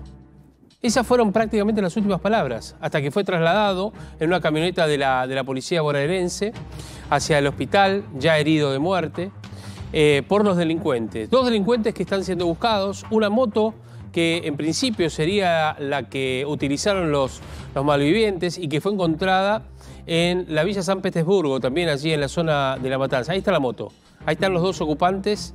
El, el accionar es el mismo de siempre. ¿eh? Es el mismo de siempre. O sea, es que hay un vecino que... delictiva, Javi, que la hemos relatado Miles de veces. Miles, cientos de veces. Lamentablemente, tal cual.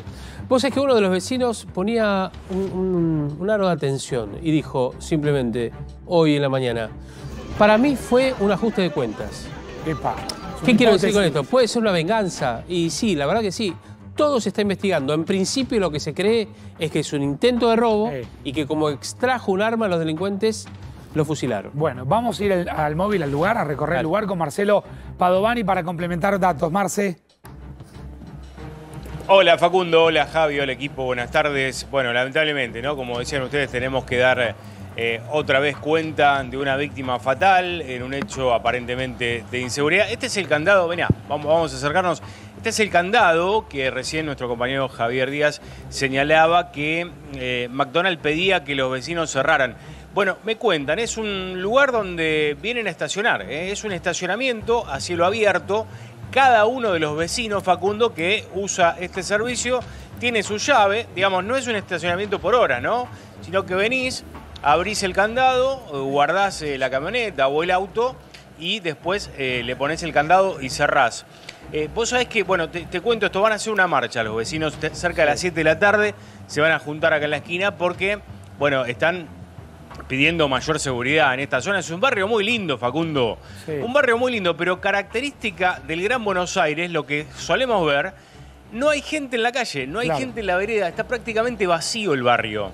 Prácticamente vacío. eh, hay- y estamos a nada, seis cuadras de, de la peatonal, por ejemplo, ¿no? Para darte un dato. Lo cierto es que lamentablemente Roberto Eduardo McDonald, vamos a agregar si te parece algunos detalles a los que eh, señalaba muy bien recién eh, Javier Díaz, eh, es atendido por una, una persona que es médica, aquí una vecina que es médica, que trabaja en el Hospital Paroicien, le hace las primeras curaciones. Otro dato a tener en cuenta es que estaba lúcido, estuvo lúcido varios minutos McDonald antes de eh, bueno, de, perder el conocimiento rumbo al hospital y lamentablemente después fallecer ya una vez eh, en el hospital. Pero te digo, em, dio estos datos, ¿no? Eh, este, este dato, de, digamos, cierran el portón, no quería que ingresaran. No es la casa, como te digo, es un estacionamiento donde los vecinos guardan el auto.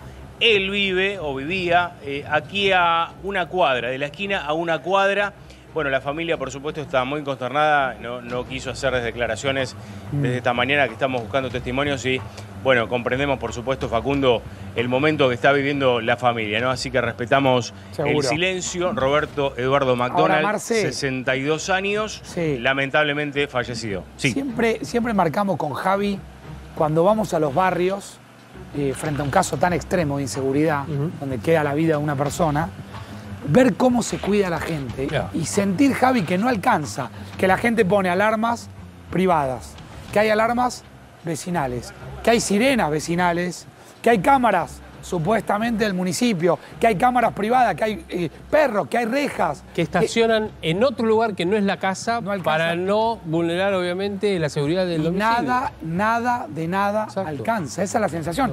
Basta amarse con que recorras un poco y te fijes y ratifiques todo esto que estamos diciendo. Sí, Tal cual, tal cual, sí, es como, como dicen ustedes, como venimos viendo siempre, ¿no?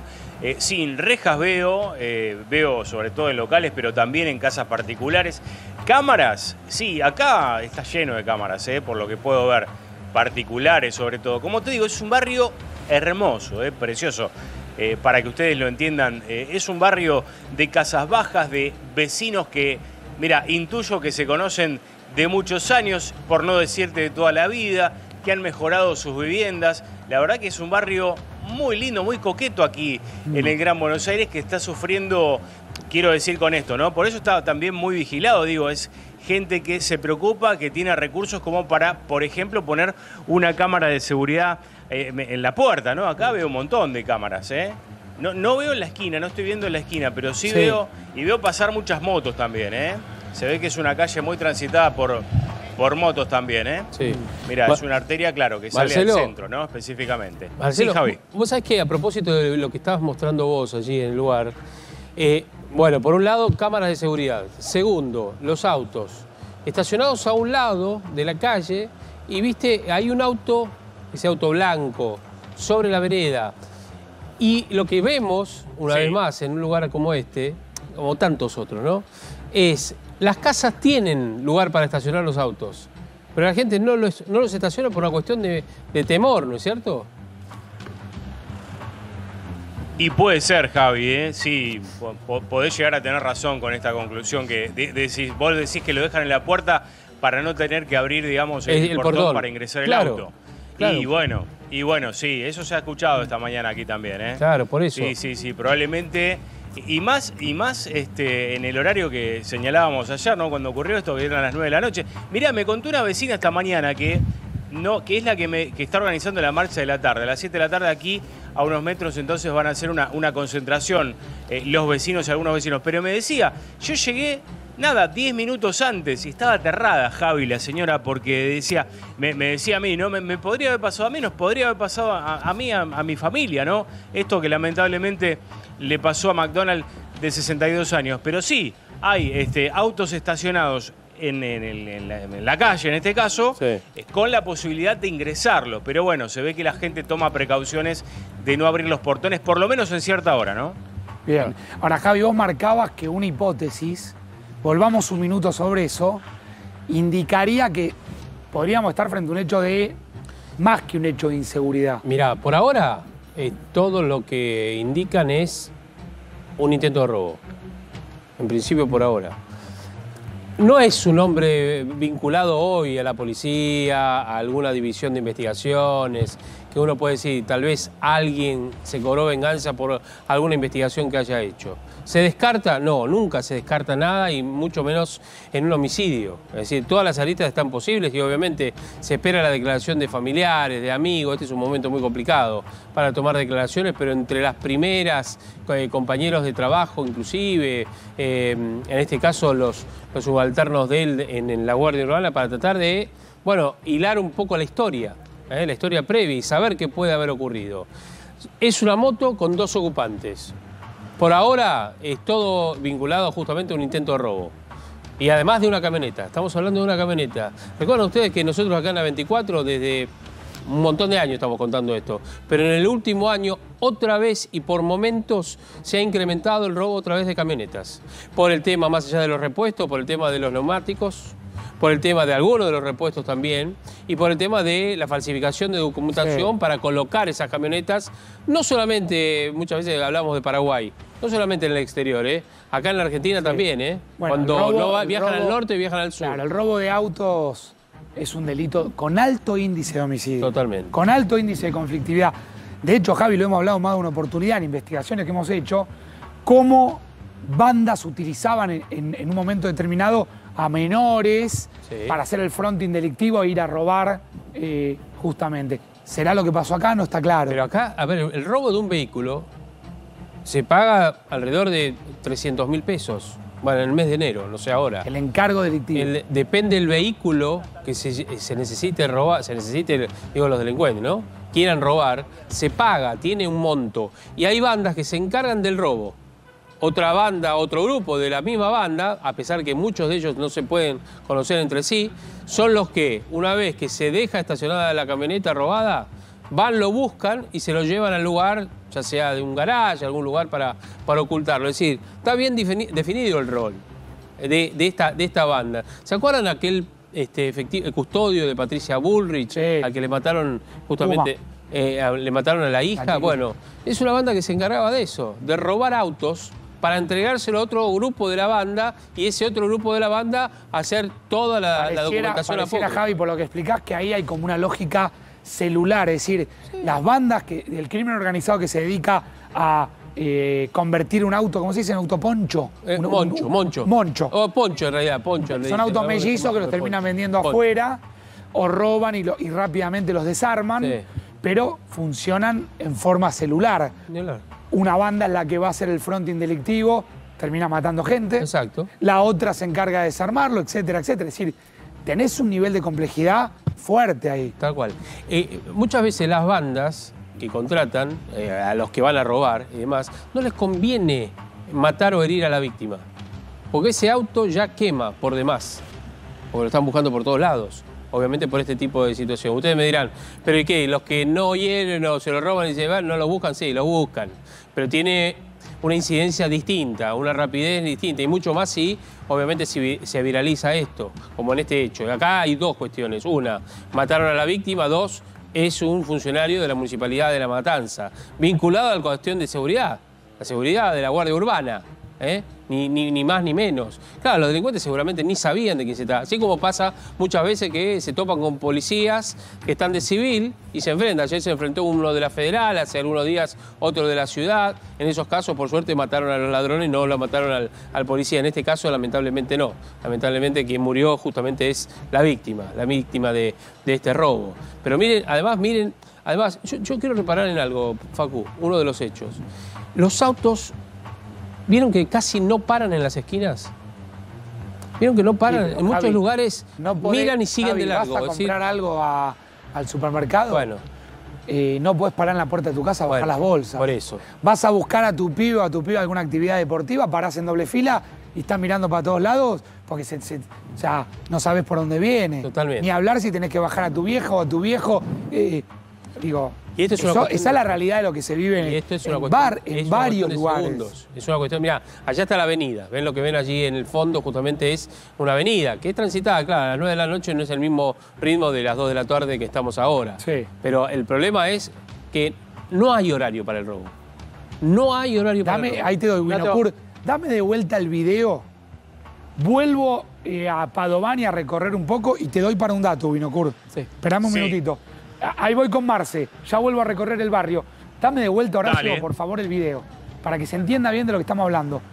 Esto era lo que se veía, lo que queda registrado, Javi, en las cámaras. Exactamente, ahí están las cámaras de seguridad. Una cámara que es un poco difusa, obviamente. También la noche, el tipo de cámara. No hay un alma en la calle, No hay ¿eh? nadie en la calle. ¿Horario? El hombre llega y baja alrededor, poco 9 y después de las 18. nue- Sí, exactamente, poco después de las 9 de la, de la noche. Se baja, es algo mecánico. Para, baja, abre la puerta. De, en este caso, obviamente, del, del portón del. Miren del el garage. resplandor de las luces de la moto. Exacto. Y ahí viene la moto. Para los delincuentes. ¿Y qué hacen? Miren, pasa una camioneta detrás y se bajan a robar. Esa camioneta puede estar vinculada, pareciera que no, ¿no? No, no, no. no, Pasó no, en porque pasó. No, al principio no. Al principio no, porque no, no, no, no me han referido justamente a eso. Estaban buscando la moto y los delincuentes. Encontraron la moto. Pero miren la acción. No dura mucho, ¿eh? Este hombre tenía, un, reitero, tenía un arma, estaba armado, en, pri- en principio tenía la, justamente la aportación. Objetivo final, la camioneta que no se llevan. No se llevan la camioneta. Se llevan sí el arma, algún otro elemento que suponen que puede haber sido. Y ahí para un vehículo. Sí, sí, pero porque, a ver, vieron el movimiento y viene una persona que después, este hombre malherido queda eh, caído de espaldas contra el asfalto y ahí es cuando vienen algunos de los primeros vecinos que escucharon los tiros. Dame si tenés con sonido el segundo video, este que estamos viendo. La desesperación. En la desesperación de la gente en la búsqueda del traslado del herido. Escúchenlo. Mirá. Esa es la camioneta donde trasladan a este hombre. Es el patrullero. funcionario. Un patrullero. Claro, es el, el El patrullero de Lutoy. Toy, exactamente, de la policía de allí, de, justamente de La Matanza, en San Justo. Lo que, Mirá, escuchá la desesperación de la gente. Por trasladarlo, ¿no? por ¿Por qué lo trasladan en un patrullero y no en una Porque ambulancia? no llegaba la ambulancia. Para hacerlo rápido, porque no podía, veían que la herida era, era muy, muy grave, gravísima, y necesitaban trasladarlo rápido. Porque Y- quizás hubiera corrido con otra suerte si la ambulancia podría estarlo asistiendo en el momento del traslado también, que son Sí. los primeros minutos, que es lo más importante. Sí, acá, esto, acá pasaron poquísimos minutos. Una vez que llegó el patrullero, decidieron todos, inclusive los, los vecinos mismos le pidieron que lo trasladaran en, en la camioneta porque no llegaba la ambulancia. Así todo, murió. No hubo, no hubo, no hubo manera. Eh, miren la sangre que había justamente en, en la caja de la camioneta. La desesperación por trasladarlo, porque ahí no están solamente los policías, sino los vecinos y los familiares. Déjame que recorro con, con Marcelo un poquitito más el barrio. Marce, Sí, acá estamos. Bueno, este es el lugar donde a las 7 de la tarde Mendoza y Chile, si mal no veo. A ver, me pongo los anteojos. Mendoza y Chile, sí, acá van a hacer la concentración, Facundo, a las 7 de la tarde. Bueno, les agrego algún dato más. Mira, mientras vamos recorriendo, ustedes decían, este, recién mostraban las imágenes. Vamos para, para el lugar del hecho, porque ahí fue donde eh, el- el- lo suben a McDonald's arriba del patrullero y lamentablemente, bueno, eh, llega en muy mal estado al hospital y, y después fallece. Les quiero comentar algo que me dicen los, los chicos que hacen delivery de estas aplicaciones. El lunes a las 5 de la tarde se van a juntar en la rotonda de San Justo, eh, Facundo, Javi, en la rotonda porque dicen que robaron, les robaron 20 motos ya en lo que va. No me quedó claro si es en lo que va del mes o en lo que va del año. Pero les roban las motos este, mu- muchas veces a los chicos que, bueno, es su único sustento quizás, y se quedan sin el instrumento de trabajo. Así que el lunes también los deliveries se van a, se van a juntar aquí para, bueno, para pedir que, que se haga algo, ¿no? Que les den más seguridad cuando están trabajando. Aquí paró la camioneta policial en este lugar, eh, sobre la calle Mendoza, y aquí entonces es donde eh, intentan salvarle la vida, cosa que finalmente no ocurrió, lamentablemente, ¿no? Pero yo les decía, fue atendido por una médica del hospital, que es la que decide hacer todo este, digamos, que decide el traslado prácticamente, porque claro, es la que, la que estaba en condiciones de definir este, algo tan importante en ese momento. ahora, Marcelo, vos fíjate la gente, la- las rejas que tiene que poner. Primero que no hay un alma en la calle. Segundo que está todo el mundo, eh, digo, le, le meten persiana, le meten reja, le meten pinche, le meten cámara, le meten de todo. De todo, Marce. Eh, eh, digo, eh, es interesante Sí, mostrar. sí, sí, sí. Mirá la Bueno. rapidez para meterse, ¿ves? Mirá, te- Plum, segundos. sí, mirá, mirá. Casi no llegó a frenar y ya bajó el arriba portón. de la reja, decís. Sí. Sí. Es que Y de así. todas maneras, Javi, eh, está, digamos, a ver, más allá de que baje rápido el portón, siempre es lento, ¿no? Porque se te tiran por abajo rápido y ya Claro. está. Pero mira, te digo, te muestro, los pinches arriba de, la, de las rejas, decís, Facu, y mira Sí. acá, el estacionamiento, digo, ¿vos te acordás cuando éramos pibes que ponían así en, la- en las construcciones? Esto yo prácticamente no se ve, digamos, en la Ciudad de Buenos Aires no, por lo menos, pero ahí tienes, mirá, las botellas rotas Pero eh, fíjate, pegadas con cemento Marcelo, o incrustadas en el botellas rotas, Y- el sí. alambre de púa, la camarita a la que le tenés que también púa, poner una reja, una jaula porque te la afanan. Te roban la cámara. Tengo cerco eléctrico acá también, ¿eh? Cerco eléctrico, Tengo fíjate. cerco eléctrico acá también, ¿eh? Mirá. Y mirá, acá está. Peligro, mirá acá, ¿ves? Acá, no sé si se ve. Sí, se ve claramente. Esto vos sí, sabés sí. que yo, a ver, no quiero ser autorreferencial. Lo vi en la ciudad de Brasilia, en las afueras de Brasilia en el año 2009 y yo me impresioné. Digo, ¿qué es esto? Un Claro. cerco eléctrico, mirá. Peligro, cerco eléctrico. Bueno, tenés cuatro cables, cinco cables. Bueno, por supuesto, este, debe, te debe dar una descarga eléctrica esto eh, si, si intentás tocar. Y ahí está la cámara, mirá. Más allá de que tenés el cerco eléctrico, la cámara está protegida eh, con una, en una jaula eh, y por el, también por el, por, eh, por el cerco eléctrico, ¿no? O sea, es decir, si lográs pasar el cerco eléctrico, tenés la cámara ahí con una Y jaula. el alambre o de en una púa. jaula, mejor ¿Vos, dicho. sabés la- púa, la vos botella. viste la inversión que hay en seguridad, ¿no? Es impresionante. No, pero no es solamente acá. En todos lados, vos venís a la ciudad de Buenos Aires y también en distintos lugares. Hay, no sé, he visto alambre de púa, mira lo que te digo. He visto alambre de púa aquí en la ciudad de Buenos Sí, Aires. sí, también, claro que ¿eh? hay. La gente ante la posibilidad de que le roben se nutre de todo lo que puede, obviamente, pagar, ¿no? McDonald's era el subdirector de la Guardia Urbana, re- reiteramos, estaba, mira, en marzo cumplía 10 años allí. Estuvo siempre como guardia urbana, justamente en el lugar. Fue nombrado en 2019 como subdirector, es decir, un hombre que sabía en materia de seguridad y así todo. Le pasa a los policías, nos pasa a cualquiera de nosotros, le pasa a los policías también. Nadie está exento de esto.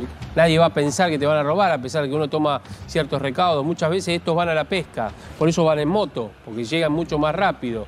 Eh, y pasan a veces hasta más inadvertidos. No debería ser así, pero es así. Y ven a la pesca y eligen el auto. ¿eh? Y a veces ¿Vos, qué querías sumar, Pablo? Sí, un dato que ya está confirmado el horario del velatorio, 16 horas en la cochería Dauria, Isaguirre, Isaguirre 2448. Lo van a estar velando desde 4 hoy. de la tarde. Desde hoy a las pero 4 de la las tarde. 7 de la tarde Marcelo daba cuenta de una a marcha. las 7 la marcha. Eso va por un lado, es una cuestión Sí, vecinal. por claro. otro lado, el velatorio, 4 de la tarde, sigue hasta las 9 de la mañana Del el día, de mañana, jueves. Y a las 9 sale el cortejo hacia el cementerio municipal. Sí. Eh, Marce, y la convocatoria de los vecinos, cansados. Sí.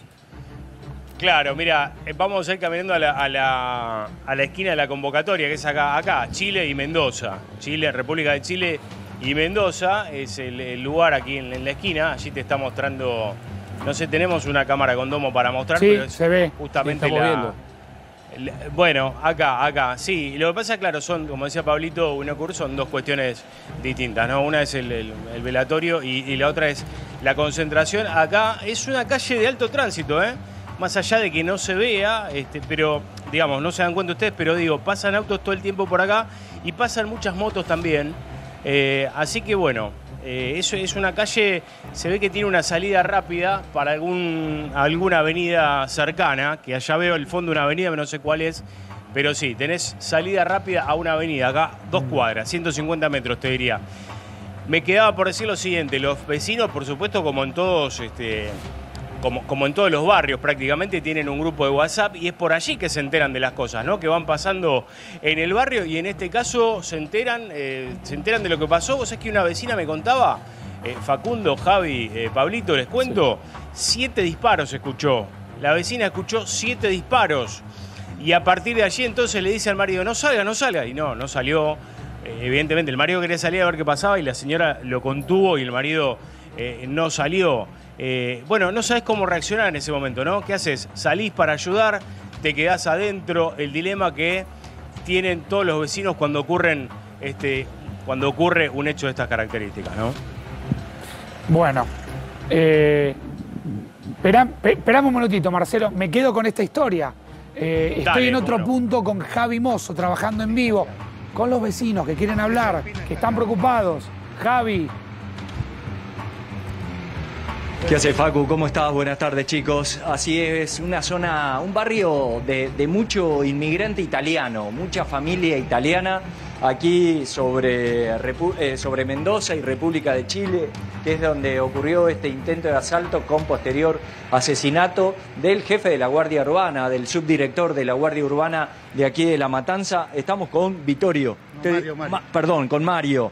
Mario, ¿cómo le va? ¿Usted conocía a McDonald? Sí, hace como cerca de 20 años. 20 años. Desde que vino a vivir acá. Desde que él se viene a vivir acá. Sí, sí. Eh, era amigo mío, pues toda la noche yo lo veía y lo saludaba. Y muchas veces eh, he estado con él conversando, por trabajo, por todo. Eh, para mí es, es un dolor tremendo porque encima hace 20 días yo perdí un hermano mío. No en esta misma circunstancia, pero eh, yo toda la noche lo pasaba, a veces iba medio preocupado, no sé por qué, y a veces yo lo silbaba para saludarlo. La verdad que para mí eh, eh, me duele mucho eh, ya no verlo más. Eh, Mario, acá Roberto guardaba la camioneta en ese portón, en ese portón negro. Y las imágenes que se ven, que fueron las que trascendieron en estas últimas horas, son las de el domicilio contiguo que tiene una cámara a- arriba, muy arriba, en el alero, allá arriba adelante, ahí los va a mostrar nuestro compañero Claudio Merino. Esas son las imágenes que trascienden. Habrá que ver si se consiguen imágenes de la vereda de enfrente para poder mostrar bien en detalle si hubo una especie de forcejeo, que es lo que se cree cuando vuelve Roberto hacia la camioneta que ya le están apuntando. Pero cuénteme una cosa, ¿cómo es la zona? ¿Cómo es el barrio? El barrio de toda gente trabajadora, gente de negocio. eh, acá no, pocas veces pasa algo así. Tenemos alarma vecinal en todas las cuadras. Por acá, por Revenindar, donde se escuchan a la noche eh, muchos tiroteos. Usted ayer lo vio a Roberto. Eh, No, no, no, no- yo no no- ve, no ve la secuencia, pero, pero eh, es- escucha los disparos porque estaba llegando en ese mismo momento a su casa luego de hacer unos mandados. ¿Me cuenta cómo, cómo- qué es lo que escucha, qué es lo que ve? Yo veo a, a dos muchachos parados con una moto acá sobre Chile y Mendoza. Y lo- los veo cuando salen a, a todo lo que da, hasta Perú y Chile. Y ahí pegan la vuelta y vienen de vuelta para acá, para Mendoza, y, y doblan acá a la derecha y, y lo interceptan a él acá. Pero yo, pero yo es esa parte donde no los veo. Claro, usted no alcanza a ver que la camioneta ya estuviera estacionada como para poder ingresar aquí. Y los pibes no... Fue tan rápido que, que pasaron que una luz como pasaron. Claro, era una moto de alta cilindrada, una XR300, Ya, sin casco, sin casco. No, no tenían casco. Sin casco. Tenían, creo que tenían gorra los pibes. Ajá, alguna, alguna visera. Pero usted lo que ve es que estaba, había, usted venía por esta cuadra, había una moto estacionada ahí en la esquina y después se va para el lado de la casa de, de McDonald's y vuelven a girar nuevamente para acá. Le voy a pedir que, sí, y vuelven a girar nuevamente para acá y acá es donde lo interceptan. Lo interceptan y acá donde lo matan. Y acá claramente es donde él intenta defenderse, tal vez sacar el arma o lo que fuere, y se producen los disparos por parte de los ladrones. Sí, sí. Y él alcanza creo que a herirlo. Habrá que ver, claro, habrá que ver en, la- en las pesquisas si él alcanza a disparar. Ahí en la calle hay una mancha de sangre. Él, acá había mancha de sangre. Ajá, Claro. es acá. Ahora, la- claro, Javi- la camioneta ingresa acá, Javi, ahí están las manchas, sí. Y aclara sí, Facu. algo, y- porque no llego a entender algo. Guarda el auto en un lugar y vive en otro, que es también una manera de cuidarse. Exactamente. ¿No? Exacto, puede ser por eso, puede ser tal vez porque no tenga garaje en su casa o porque tenga algún otro vehículo. Entonces, ¿él qué hacía? Guardaba el auto acá. Claro. Él guardaba el auto acá y vive o vivía a la vuelta, a unos 100 metros Y a la vuelta aproximadamente, sobre la calle República de. Chile. Y Perú, en la esquina. Exactamente. Hay varios Exactamente. convertido en un garaje. autos convertido en garaje. Adentro hay algunos de hecho autos. hay de hecho hay otros autos Sí, sí, sí. de hecho hay otro auto más se ve ahí un auto blanco eh, puede ser que haya una casa en el fondo Sí. tal vez entonces puede ser que tenga un, un patio adelante bastante Espacio grande donde Mira, hay excelente laburo de, vecinos no- de nuestro equipo, del camarógrafo. ¿Con quién estás? ¿Con quién estás, Javi? muchos vecinos estoy con Claudito Merino Bueno. Claudito Merino Mandale un saludo grande a Claudio. Excelente para entender bien, claro, vecinos que a su vez prefieren guardar en otro lugar para no exponer el frente de su casa. Ahora, Javi, el vecino, te decía recién que se Claro, notaba preocupado. El tema es este, Facu. El, el- el tema es este. Vos, vos venís, no tenés como en muchos otros domicilios que por ahí tenés el portón automático. Entonces vos venís con el vehículo, entrás acá y, e indefectiblemente te tenés que bajar, que era lo que había hecho Roberto, lo que hizo ayer, para abrir el candado, abrir el, el portón hacia adentro, volver a tu, a tu auto y recién ahí ingresar. Bueno, en ese momento es donde se ven las imágenes captadas por esa cámara que Roberto baja y ahí inmediatamente se acercan los dos motociclistas, los dos motoqueros, los dos delincuentes, uno apuntándole directamente, él intenta venir rápidamente hacia su, hacia su camioneta, se produce ahí, in- y entendemos, porque no han circulado nuevas imágenes, estamos viendo si, si podemos conseguir algo eh, de, de cámaras de enfrente, que puede haber algún forcejeo ahí. No se, tap- eh, no se ve eso, lo intuimos, porque es tapado por la cámara. Se producen luego los disparos que le provocan a posteriori la que muerte cuando es trasladado al hospital arma, Javier. Eh, lo ven los delincuentes Claro, y eso claro, porque- sería el motivo por el cual Es lo que provoca la reacción de los delincuentes. Sería eso. Javi, Claro, consultale al claro. vecino Claro. si es un barrio peligroso en general, porque refieren que se escuchaban a veces tiros, pero él ha ido a comprar. ¿Cómo es? ¿Hay locales abiertos? Para él es normal, habitual ir a Acá, comprar acá tan la tarde. zona, la zona comercial. Ok, me lo dice. Sí, la zona comercial está cerca, está lejos. Vemos, vemos algunos alambres con electricidad, vemos mucha reja, muy típico del conurbano. Pero ¿cómo es la zona? La zona es buena. Hay mucha gente de adinerada. Muchos departamentos, edificios, acá una cuadra, dos. Después tenemos el centro de San Justo, En sí- cuanto, en a cuanto a lo peligroso de la zona, ¿lo es o, o no, más o menos? No, es eh, más o menos, de vez en cuando pasa algo. De vez en cuando pasan hechos. Sí, sí. Y lamentablemente eh, anoche pasa el del vecino que lo conoce de prácticamente toda la vida. Me contaban que acá hace dos o tres días también le robaron el auto a un muchacho acá. ¿También en este lugar? En este lugar, estaba parado acá.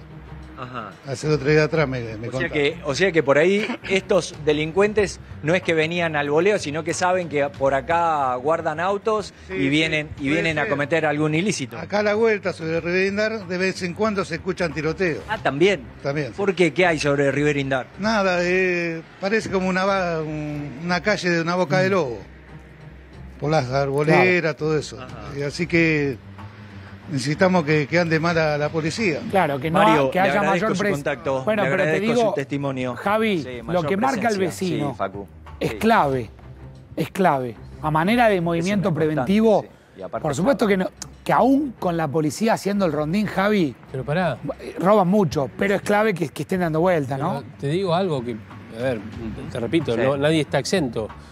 Era el subdirector de la Guardia Urbana. No estoy hablando de la policía, pero Guardia Urbana tiene una incidencia vinculada justamente a la seguridad. ¿Qué quiero decir? Fue víctima él Exacto. de este, de este hecho. Y además él para, baja con todos los protocolos, abre candado, abre el portón y se mete. No, le- no llegó ni siquiera, creo, a Es un hombre de sacar- fuerza, pero- aparte, sacar el, Pero- candado ver, de, Quiero ser enfático, Javi, lugar. por la información que manejás. Estamos frente a un robo. Por ahora. 70% de hipótesis de inseguridad y, y los investigadores se reservan la Por idea ahora de. es homicidio en ocasión Sí. de robo. En Por principio ahora- es eso. Sí, en principio bueno, es eso. Las autoridades, las autoridades, claro, están investigando, no pueden decir absolutamente si puede ser un ajuste de cuenta o algo por el estilo. Es lo que dice ahí Javi en el piso. Eh, a mí, a mí me, lo que me llama la atención es lo que contaba acá el vecino y le voy a pedir a Claudio a ver si nos, si, si podemos acompañar, si me acompaña hasta la esquina, porque el vecino venía sobre esta cuadra, ¿no? Esta cuadra es Mendoza. Viene desde la avenida hacia acá caminando porque su casa queda acá a la vuelta sobre República de Chile.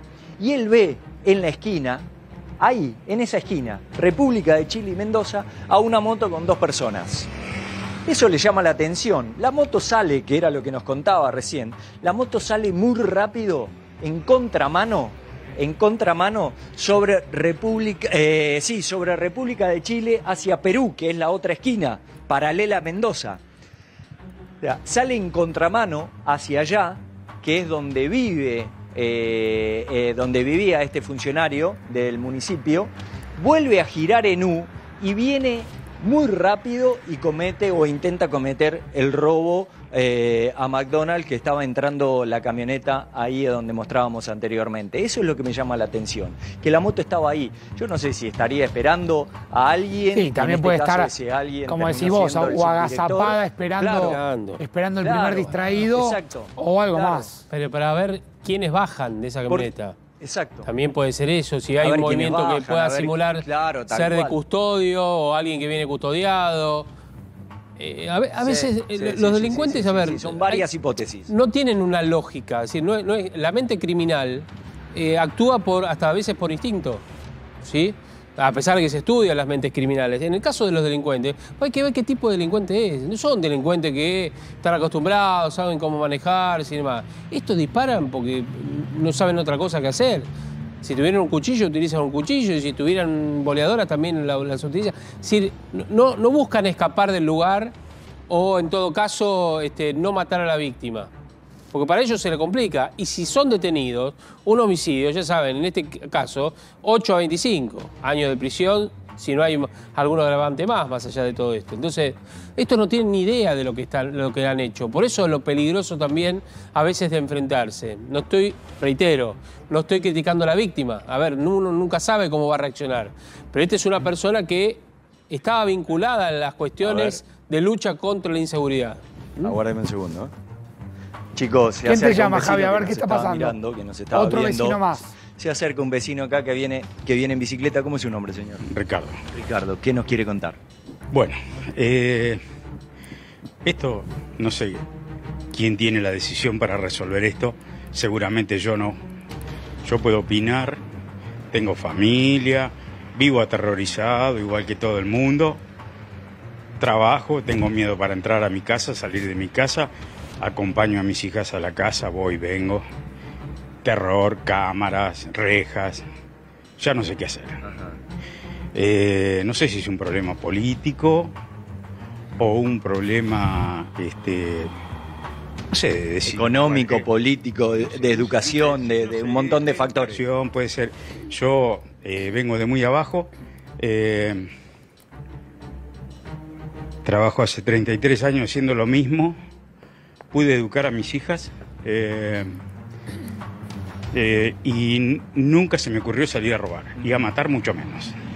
Entonces, eh, por ahí yo creo que mm, me indigna porque este señor de bien, seguramente, como todo vecino de acá, eh, está expuesto a esto. Que, ¿Cómo puede ser que, que dos tipos en una moto circulen armados por, por el centro de San Justo como si nada y, nadie intervenga? A ver, yo hablo con, con policías y me dicen, nosotros no- ya no sabemos qué hacer, Eh, no tenemos los medios, no sé, es una decisión política, es posible que este señor presidente, ojalá Dios lo ilumine, y, y pueda achicar el 40% de la política, yo creo que achicando todo eso vamos a resolver el problema de seguridad. Recuérdeme su nombre. Ricardo. Lo noto, no sé si es por, por la pedaleada, lo- No, no, no, eh, eh, pedaleo pero lo, lo noto trabajo. muy nervioso No, y no, lo no. noto como, como Está muy- emocionado y está como muy enfurecido. la gente. ¿Sabe qué pasa? Javi. No sé si es furia Es o qué, pero. ¿sabe qué pasa? Que cada vez la bomba me explota más cerca.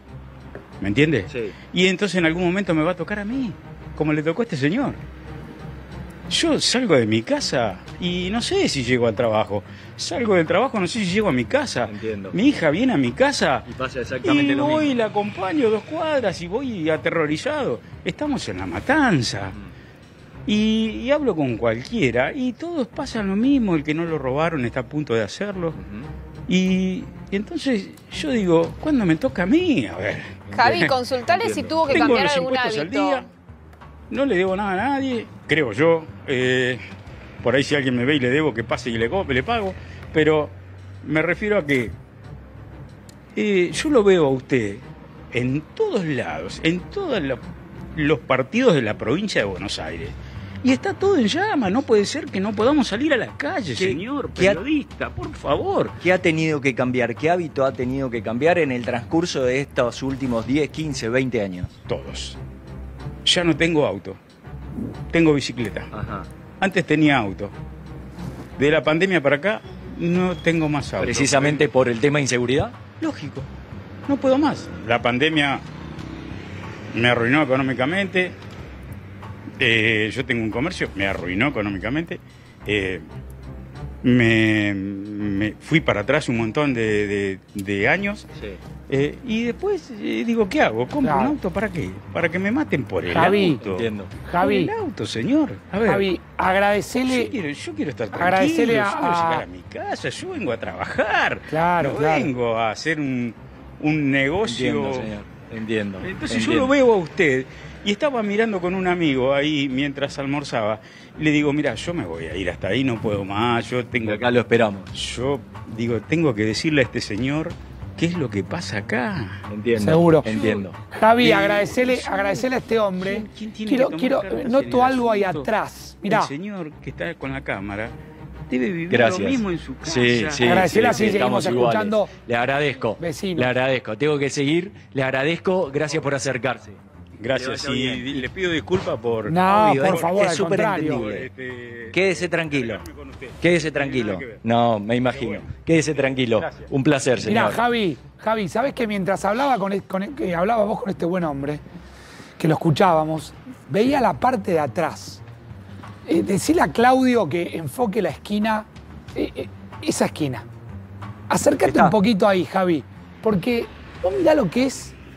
Digo, uno pretende que funcione la seguridad, La vereda. que La vereda, funcionen, decís. que funcionen las cámaras. No cortan ni el pasto en los barrios. Mirá lo que es este, este, este pastizal. O sea, eh, imagínate que se te esconde alguien ahí. Que anda, anda a encontrarlo. Y esto es de todas las esquinas, Javier, ¿eh? Y tenés, mirá, fíjate, haces unos 60 metros más y tenés otra vereda que no es de material, que debe ser de pasto El nivel de o tierra, abandono. y también tenés pastizales de 30, 40 centímetros de Claro. altura. Acá también, fíjate esto, está, la esquina está en alquiler, eh, como, como se ve en el cartel, y así si empezás a recorrer tenés, tenés un montón de lugares donde lamentablemente el, el- el- el abandono también prima. Eh, y pueden ser lugares tranquilamente, cuidado Clau atrás, pueden ser lugares tranquilamente donde se pueden esconder estos personajes Pero- eh, pero para después autos, cometer cualquier tipo de delito, ¿no? Los autos están estacionados en la calle, no adentro. Mira, ese auto gris que estamos viendo ahí está sobre eh, la bajada de- del garage.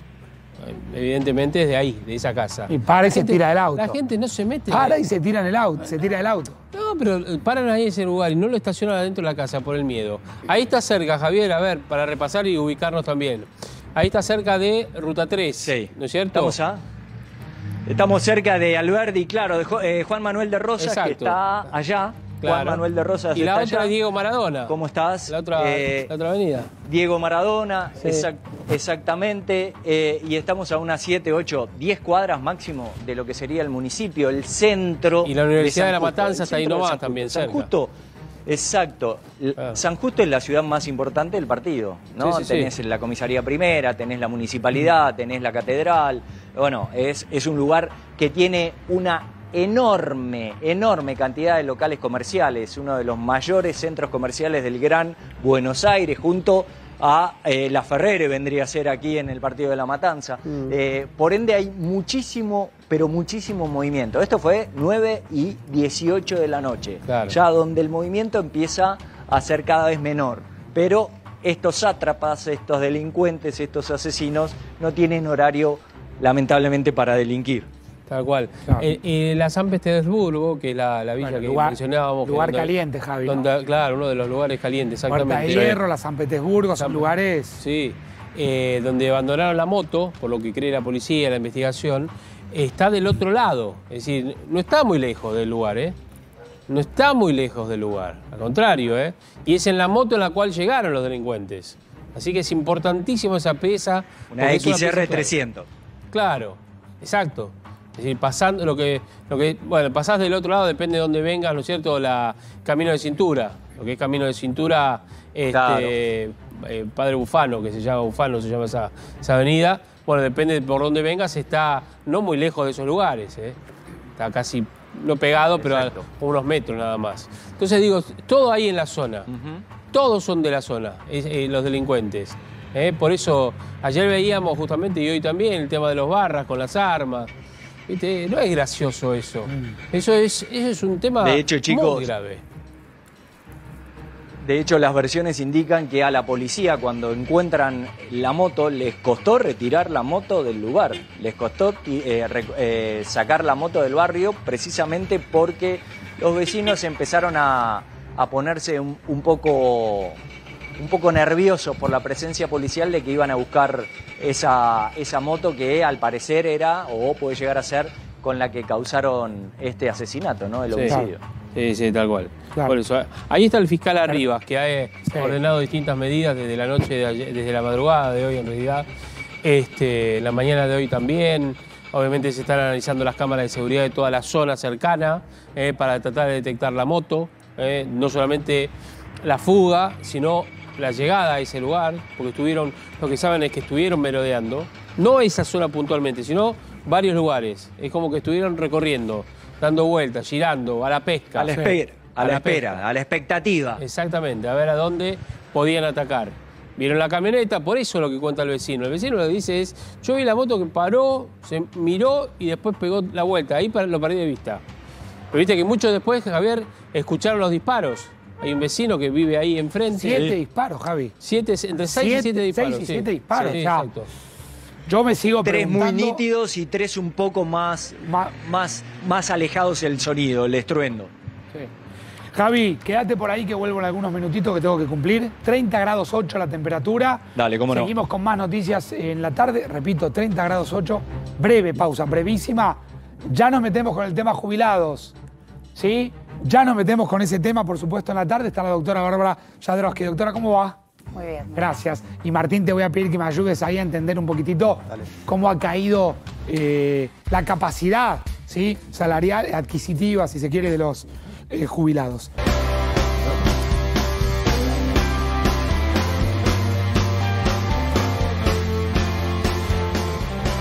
$27.18, 27% de aumento para los jubilados. Bárbara, ¿cómo, ¿cómo estás? Gracias por venir. Por favor. Bueno, ¿es suficiente? ¿Esto alcanza? ¿No alcanza? ¿Es apenas...? Esto tiene que ver con la movilidad jubilatoria y aparte se necesita un bono. Bueno, eh, sí, es la movilidad, tal cual. Este, son los índices que se publicaron, por lo cual este, se anuncia ya oficialmente el aumento del 27,18%. Esto es para todos los beneficiarios, para todos los jubilados, no importa el haber que cobren. Que si la mínima que estaba en 105 pasa a 100... ¿Cuánto, Martín? ¿Ciento? 134.446. 134, 446. Sí. Sin bono. Claro, todavía no se sabe. Ahora, si en enero y en febrero cobraron 160 con bono, que cobren 134 ahora porque acompañó la movilidad jubilada, digo, le- les acaban de sacar 30 lucas de, No, de no. haber. Bono, este, Caputo, el ministro Caputo anunció que iba a haber. El tema es que no se sabe el monto y el alcance este, de este bono y no nos vamos a anticipar a darlo porque incluso el ministro Caputo este, había comentado que iba a ser el 30% y finalmente es un poco menos que lo anunciado. Así que Está vamos bien, a ver el 30% oficialmente de la propia movilidad que es eh, marzo, junio, septiembre, septiembre, diciembre. Exacto. Ahora, ¿hay plata, Martín? ¿Hay, ¿Hay de dónde poder sacar para poder pensar en un bono? Porque son 7 millones de personas. ¿Cuánto, ¿Cuánto cobraron el bono? El bono es más o menos la mitad de los jubilados, que es los que cobran la mínima, hoy ¿Tres millones? proporcional. No, no, más. Más. Sí, porque es hasta 160 mil pesos. ¿Y hay Digamos, plata, Martín, para eso? Va reduciéndose, pero bueno. Mira, la pregunta más que si de plata es cómo querés hacer cerrar los números, ¿sí? Porque lo charlábamos recién, eh, Caputo salió hace pocos días diciendo logramos superávit fiscal y financiero después de 12 años. ¿Sabes cómo lo lograron? Ajustando 38% en términos reales las jubilaciones. ¿Por qué? Por una simple cuestión, si vos congelás el bono de 55 mil pesos que pagaste en diciembre y lo repetís en enero y lo repetís en febrero, el resultado es que ese bono pierde en términos reales contra la inflación todos los meses. Bueno, eso es ajuste. El 38% del ajuste en términos reales sobre las jubilaciones es lo que le permitió a Caputo que el Excel le cierre. Claro. Entonces la gran pregunta es, Eh, frente a un dato que vos que ya sabés. cierre, que, que cierre, pero ¿de qué manera? Exactamente, digo, la, la cuenta en la tablita te puede cerrar bien. Ahora, en el medio vos dejaste gente afuera que no comió. Y con el agravante, perdón, Sí, que el monto se mantiene hasta el próximo aumento y la inflación sigue, con lo cual cada vez hay mayor pérdida, ¿no? Esto es lo, lo grave de la Está bien, pero situación. ese no es el formato de la fórmula. Ese es el formato, pero bueno, Sí, pero con un índice... vos tenés herramientas para compensarlo. Claro. ¿cómo? Por ejemplo, un bono más, más grande. Está bien, pero no está anunciado Por el bono, ejemplo, estamos a 21 vos- de febrero. Vos podés dar un No hay anuncio de bono, Vos Pablo. podés dar un aumento extra. Nadie te impide dar un aumento extra por encima de la fórmula de movilidad. Vos- y vos el gobierno dar- no lo está haciendo. Está dando vueltas un rumor, no quiero, quiero ser cuidadoso, pero está dando vueltas un rumor de que el bono podría llegar a ser del mismo importe que fue el mes pasado y el anterior y el anterior. O sea, 55 lucas. Está bien, pero si vos pones 55 lucas más la movilidad, te vas a 180. Venías de 160. O sea, te están aumentando 20 lucas. Te- hice lo, ju- Sí. lo hice rápido. Por eso, ¿Está 20, bien? 20 lucas, ¿cuánto es? ¿Un 10%? Sí, incluso eso iba a decir eso. Eso es menor que el aumento por movilidad si, Claro, si claro. trasladamos el bono con el mismo importe. Si vos congelás es el menos bono- que el 17,28, ca- perdón, menos que el 27,18%. Si vos congelás el bono, automáticamente el, el- el- el porcentaje total del aumento empieza a bajar. ¿Sí? Exacto. Sí, yo, a ver, yo hice la cuenta hace no mucho de a cuánto equivalen eh, o cuántos pesos tendrías que darle hoy de bono a un jubilado en febrero para pagarle exactamente lo mismo que le Ustedes pagaste en están diciembre. planteándome a ver si entiendo bien y la gente entiende. Y ya con Melody, le- Me- Melanie, eh, Melody, ¿qué dije? No pasa Melanie, nada, Melody. no pasa nada. Con Melody, Melody les Melody. compartimos algunas de, los, de las eh, consultas que han entrado a nuestro consultorio. Sí. Lo que est- están diciendo es que ustedes pretenden un bono que sea acompañado por, digamos, un bono inflacionario. Pero es que claro, si no lo que haces es hacerle perder poder de compra al bono. Para hacer la cuenta muy simple, si vos ajustás solo por inflación el bono de 55 de diciembre, en febrero debería haber sido de 86 mil. ¿Sí? Digo, estoy aplicando O sea, si solamente vos inflación. ajustás por inflación el bono de los 55 que el gobierno lo sostuvo enero y febrero, Exacto. que ya es mucho. Diciembre, enero y febrero. No, Claro. diciembre, o sea, eh, cargáselo Sí. Al gobierno anterior. gobierno anterior. El, eh, mi ley asume y dice, el bono no lo puedes tocar. Porque aparte vos venías de un diciembre de 200 lucas, 200 y pico, porque vos le agregabas 105, le agregabas el bono y le agregabas el medio aguinaldo. No, y aparte estaba, perdón, lo de PAMI, que había también un ingreso También. de PAMI, y estaba el reintegro del IVA, que son, era hasta 18.800 pesos, que terminó a fin de año y que eso no se renovó, que también incide mucho en el haber en la mínima. Así que son Es varias decir, el bono hoy tendría que ser de 80 lucas. En febrero, ¿sí? Todavía habría que ver en marzo, Marzo. cuán- tendría que ser mayor todavía en marzo, ¿sí? Digo, si lo congelan es en 50. fácil. El problema es que no se aplica la cuenta. Porque si vos tenés una inflación que fue del 25 y 5 más esta última, de- a ver, no hay mucha vuelta, tenés que agarrar la calculadora y Sí, sí, decir, sí, bueno, tra- esto este- este que es que lo paga. Claro. Es No, no. El tema es que lo paga. pero bueno. el tema es Porque que- si vos vas con el discurso de que no hay plata, que efectivamente no hay plata, Bueno. digo, no es un discurso, entonces, bueno, tenés que decidir quién Bueno, paga. pero ahí, esta- ahí este está la discusión, ¿no hay plata o hay plata? O, o hay una intención también del gobierno de por lo menos presentar tres, cuatro meses de superávit para desde ahí buscar como una segunda etapa de gobierno. Estoy pensando en voz alta, ¿eh? Es decir, y con las mejores intenciones. No es, el, no es el espíritu lo que está planteando el gobierno en este momento, por lo menos. No está planteando, bueno, no, déjeme, hay que pasar el verano, como decía el Sogaray, el invierno. No hay que pasar, no. Es que Me el, parece que esto es va que el jubilado lado. puede esperar. Bueno, No puede- tampoco podía esperar en marzo. No, no puede esperar nunca y lo viene esperando desde hace un montón de años, no es de ahora este problema Mira, tampoco. yo- ahora de- se de agravó. 2000 de, por la inflación. 2015, de 2015 a 2023, las jubilaciones perdieron poder de compra por un 20%, ¿sí? Un 20% de poder de compra. Si se Mira, repetí ese, que es un dato interesante. Y me avisan, por favor, pongamos el teléfono para que con Melody podamos compartir consultas eh, de, de- de la gente. Repetí eso, Martín. Sí, por la favor. jubilación perdió poder de compra por el equivalente a un 20% desde 2015 a 2023. Desde que asumió mi ley para acá perdió otro 20%. Digo, para que entendamos la relación, el Perdió- efecto que perdió tiene poder de compra desde desde 2015 hasta 2023, esto es los últimos dos gobiernos, obviamente con vaivenes, con subas, con bajas, con compensaciones por bonos, pero digo, punta a punta perdió 20 puntos. ¿Cuánto perdió la jubilación en materia de poder de compra en el último mes y medio, dos meses? Lo mismo. Está bien, pero ¿cuánto hay de ahí en esa evaluación del 400 al 800 del dólar? Y la pregunta es, contrafáctica, ¿Massa no hubiera tenido también que llevar el dólar 800? ¿O eran dos tramos? Como decía aquel paper de Marra, 6.50 y después vemos. Yo no puedo hablar de cuál, cuál hubiese sido esa política Ah, claro, es concreta pero sí tengo en claro que la política de recomposición respecto a una fórmula que tiene como problema el, el delay entre lo que lee y lo que entrega, el gobierno anterior intentaba compensarlo con bonos que de hecho fueron subiendo escalonadamente en función de la inflación. Bárbara, repasemos un poco entonces. Queda en 134 la mínima. 134.446. A esto hay que sumarle el bono que está confirmado, porque esto lo dijo Caputo. El bono está confirmado, pero no sabemos de cuánto. Exactamente, ni el alcance ni el monto. Pero bueno, va a haber un bono. Esto lo dijeron Y sería bono días. Para marzo. mínimas, claro, para el mensual de marzo con el aumento de marzo. Para mínimas. Bien, perfecto. Ahora bien, perdón, hasta ahora es para mínimas y se va como, digamos, eh, el porcentual hasta llegar a- en febrero hasta 160 mil pesos, iba cobrando la diferencia del bono hasta ese monto para que garanticen que ninguna persona iba a cobrar o cobra menos de 160 mil pesos a febrero. Vamos a ver si el de marzo se implementa de la misma bien, forma. Bien. Eh, Vamos con algunas consultas, Melody. Claro que sí. Gente que llama, contesta la doctora. Martina, analizamos económicamente. Nos vamos metiendo con cualquier duda que tengamos. 11 36 40 3744. Consultorio al aire. Vamos. ¿Me pueden informar si está por llegar la edad jubilatoria y querés seguir trabajando? ¿Es necesario enviar carta o documento al empleador para notificarlo? Bárbara. No, no, no hay que enviar ninguna carta de documento. Incluso también es importante que la gente sepa que en el ámbito privado pueden seguir trabajando hasta los 70 años. Sí, buena aclaración lo del ámbito privado, porque si alguien trabaja para el Estado, esto no cuenta. Exactamente. En el Estado vos no puedes jubilarte y seguir. No, tenés Si que en el ámbito privado es un acuerdo entre privados, entre partes. Sí, tal cual. Vos podés seguir trabajando. Si a vos te intiman a jubilarte, puedes ejercer la opción de, de jubilarte a los 70. Igualmente, puedes jubilado seguir en actividad privada. Mm, Bien, claro. la próxima es, siempre trabajé en negro, tengo tres hijos y hace poco empecé a pagar un monotributo social. ¿Me podré jubilar? Tengo 57 años. Bueno, en principio yo les sugiero que ahora sí se acoja al plan de cancelación de deuda previsional, que es para la gente que tiene hasta 10 años menos de la edad jubilatoria, que puede ir comprando aportes hasta el 2012.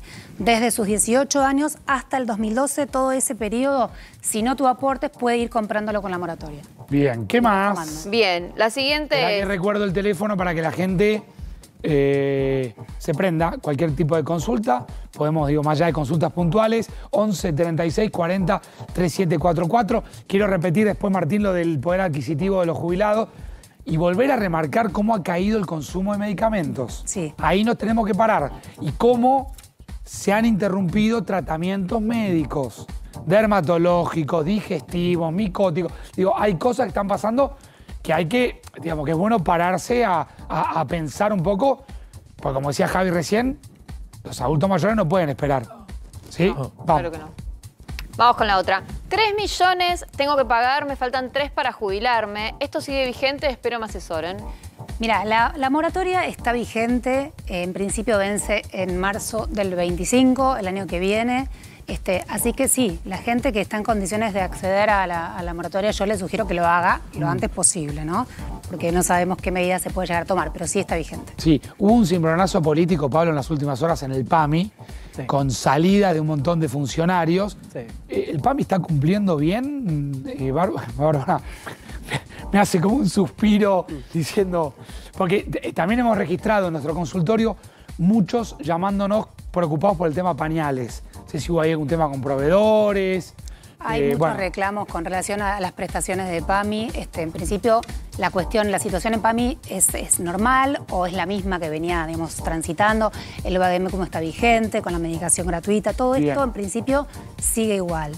No sabemos si va a haber un cambio, pero es verdad que hay muchos reclamos Sí. con, con algunos temas. eh, traigo esto a la mesa porque uno plantea el tema pañales, que es un tema esencial para el adulto mayor, pero cuando nos querramos acordar, vamos a estar entrando en el invierno. Y ahí vas a tener que cumplir con la, con la vacunación del adulto mayor también.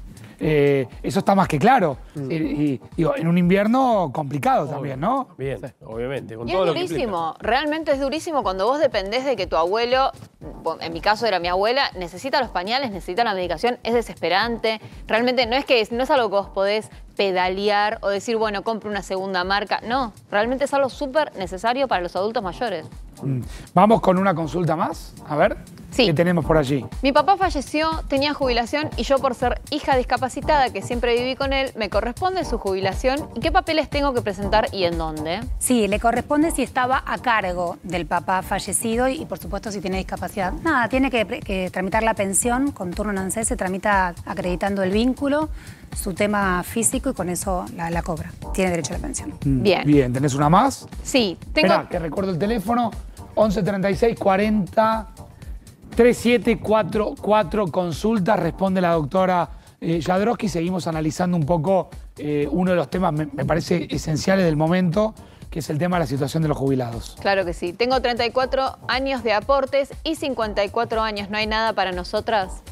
Bueno, existe, está vigente la jubilación anticipada por desempleo, que es para gente hasta 5 años menos de la edad jubilatoria, mujeres a partir de los 55, hombres a partir de los 60, que tienen los 30 años de aportes, pero que están desempleados a junio del 2023. Para este caso, para esta gente, pueden cobrar el 80% de lo que sería su jubilación cuando cumplen la edad. Hasta bueno, junio. Junio del Hasta el 2023. 30 de junio. Exacto. No el primero. Sí, exacto. Así que sí, si es esta situación, tiene 54, pero bueno, si cumple 55 en breve puede acceder a esta. Bien, bien. Bien. ¿Qué más por allí?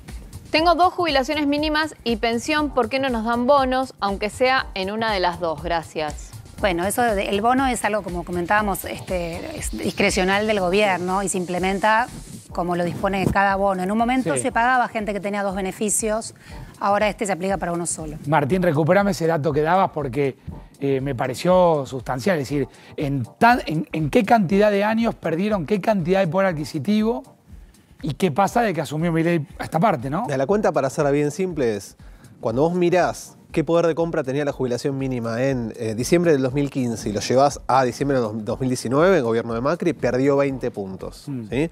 Cuando mirás lo que pasa en el gobierno anterior, en el, digamos, en el de Alberto Fernández, esos 20 puntos no se terminaron de recuperar. Hubo, cuando vos ves la gráfica, una especie de serruchito. ¿Por qué? Porque progresivamente había intentos por recomponer el poder de compra, pero cuando llegas a diciembre del 2023 no se movió de ese 20% que había perdido con Macri. Bueno, hoy, si se confirma el dato que tenemos hasta ahora, que es solamente aumenta la movilidad jubilatoria y un bono que en principio no sabemos cuánto se va a ajustar, la pérdida de poder de compra de la jubilación va a ser de otro 20%.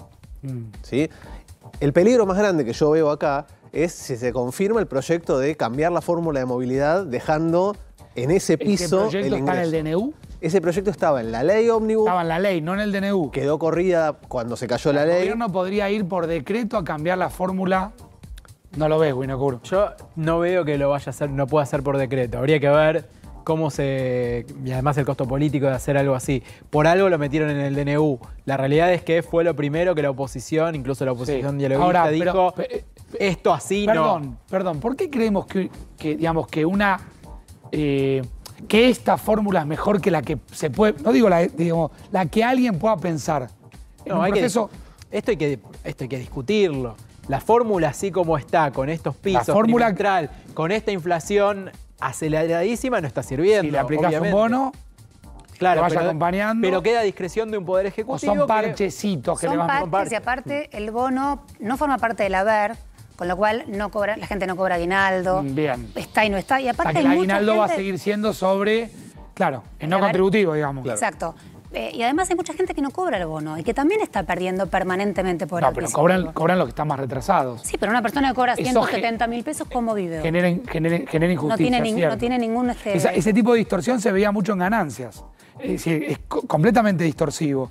Porque de repente terminaba ganando eh, menos alguien que estaba por abajo de un gerente que de repente no hacía hora sexta. Entonces se genera todo un desfasaje. Acá, una jubil- un jubilado no de la mínima, por ahí termina acercándose al de la mínima, porque al de la mínima lo ayudan con un bono, ¿correcto? Sí, es así. Sí.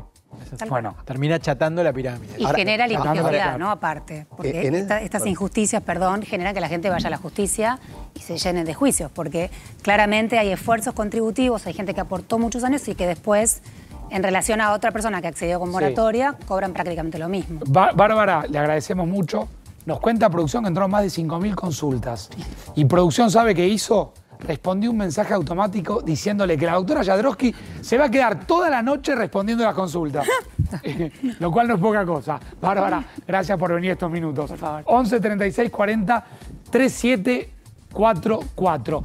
3 y 20 de la tarde. Ayer mostramos una postal, una postal de la Argentina, una postal, si se quiere, un recorte del momento que vive la Argentina en la foto de un lugar específico, de uno de los lugares más postergados de la Argentina, como es el conurbano bonaerense, donde muchas familias viven de la pobreza. El basural de Luján, mirá.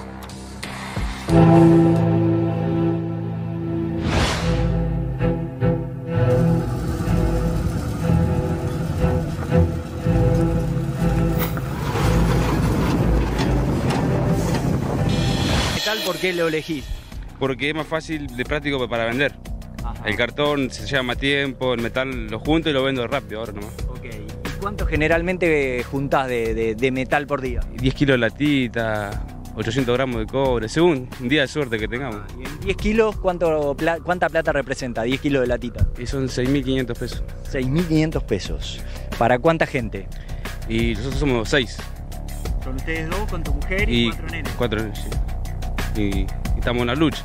Sí, acá un sacrificio todo el día a día. Acá te cortan los- las manos, te quemás. Ah, pasa eso. Sí, sí, seguido. Ajá. Sí, sí. Y, y escúchame, ¿y cómo lo haces? No, uno no queda otra. Uno ya se acostumbró a, a comer, a clavarse los vidrios o lo que sea. Uno se acostumbra. Vos fíjate ahora. Mira los bolsillos. Sí.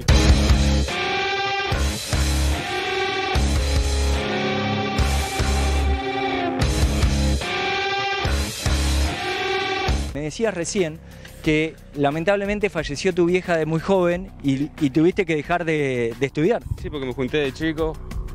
Me junté de muy chico. Bueno, fui padre chico y tuve que salir a laburar. No me quedaba, no me quedaba otra solución.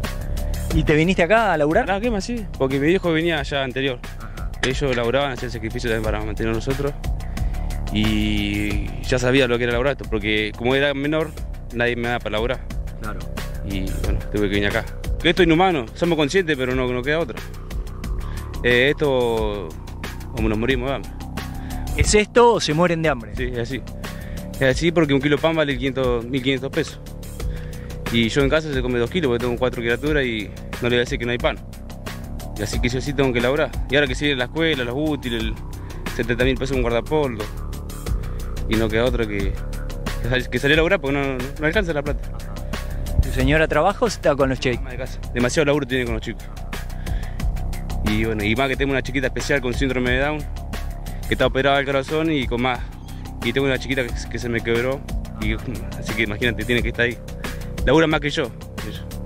Tu mujer labura más que yo y me imagino que tus hijos deben de estar recontra orgullosos del viejo que tienen. Sí. El viejo joven, porque tenés 24, 26. 26, sí, 26. Fui padre muy chico, muy- a los 15 años.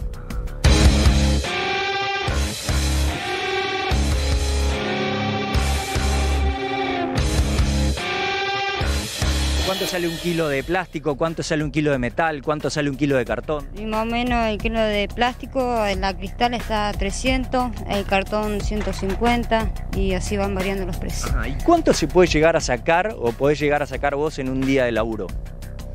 Y depende de los kilos que lleves. De- Sin duda, depende de los kilos que lleves, pero acá, por ejemplo, ¿cuántos kilos de, eh, de, de cartón puede llegar a haber en este bolsón? ¿20 kilos? Sí, más o menos 17 kilos. 17 kilos encontrás acá a 300 pesos, te llevas unos mangos eh, y así, ¿cómo? A 150. El 150 el cartón. 150 el cartón, o sea, 17 kilos por 150, ustedes podrán hacer las matemáticas ahí y, y, a ver, una persona, por ejemplo, vos juntaste esto y si no juntaste más, ¿te llevas esta recaudación hoy en el día? Sí, obvio sí.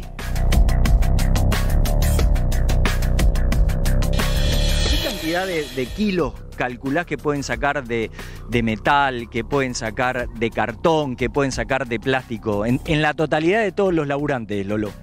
La verdad que ni idea, pero es mucho. Es mucho la cantidad que saca. ¿Es mucha? Sí, sí. No- nunca hicimos un cálculo cuánto llevan, pero lleva bastante. ¿Y cuánto se puede llevar un laburante eh, trabajando y recolectando y separando, no sé, 300 kilos de plástico, 200 kilos de, de cartón? Y según 45, 50 lucas en el día. En el día se puede hacer eso. Se puede hacer eso, sí. Vivir de la basura, Luján, a pocos kilómetros de la capital federal, en un país que tiene estos ejemplos que se terminan convirtiendo en instantáneas, en postales de, de- de lo, que está, de lo que viene sucediendo hace mucho tiempo y el camino al que va eh, el país. ¿Vamos a 60% de pobreza, Pablo? Sí, vamos a ese número y a medida que vaya aumentando la inflación y los salarios no acompañen, lo que vamos a ir viendo es que esta pobreza va a ir creciendo. Ya vimos el otro día, hacíamos un gráfico de que hasta hace no demasiado tiempo, con dos salarios mínimos, vos apenas escalabas el lugar de la pobreza, apenas superabas la, pro- la pobreza. Una ahora, familia que una familia que solo trabajaste mamá, la otra vez. Mamá, papá trabaja. Con dos mínimos. En 2020 trabajaban los dos con dos mínimos y con eso zafaban de la pobreza o quedaban ahí empatados. Hoy, con dos mínimos, apenas superan el umbral de indigencia. Por supuesto, ahora el gobierno dictó el aumento del salario mínimo vital y móvil. Va a estar un poquito mejor, van a superar un poquito más holgadamente la indigencia. El salario mínimo vital y móvil estableció el gobierno 2. Ahora, ahora te- 282, Martín. No, 202. 202. 202, bueno.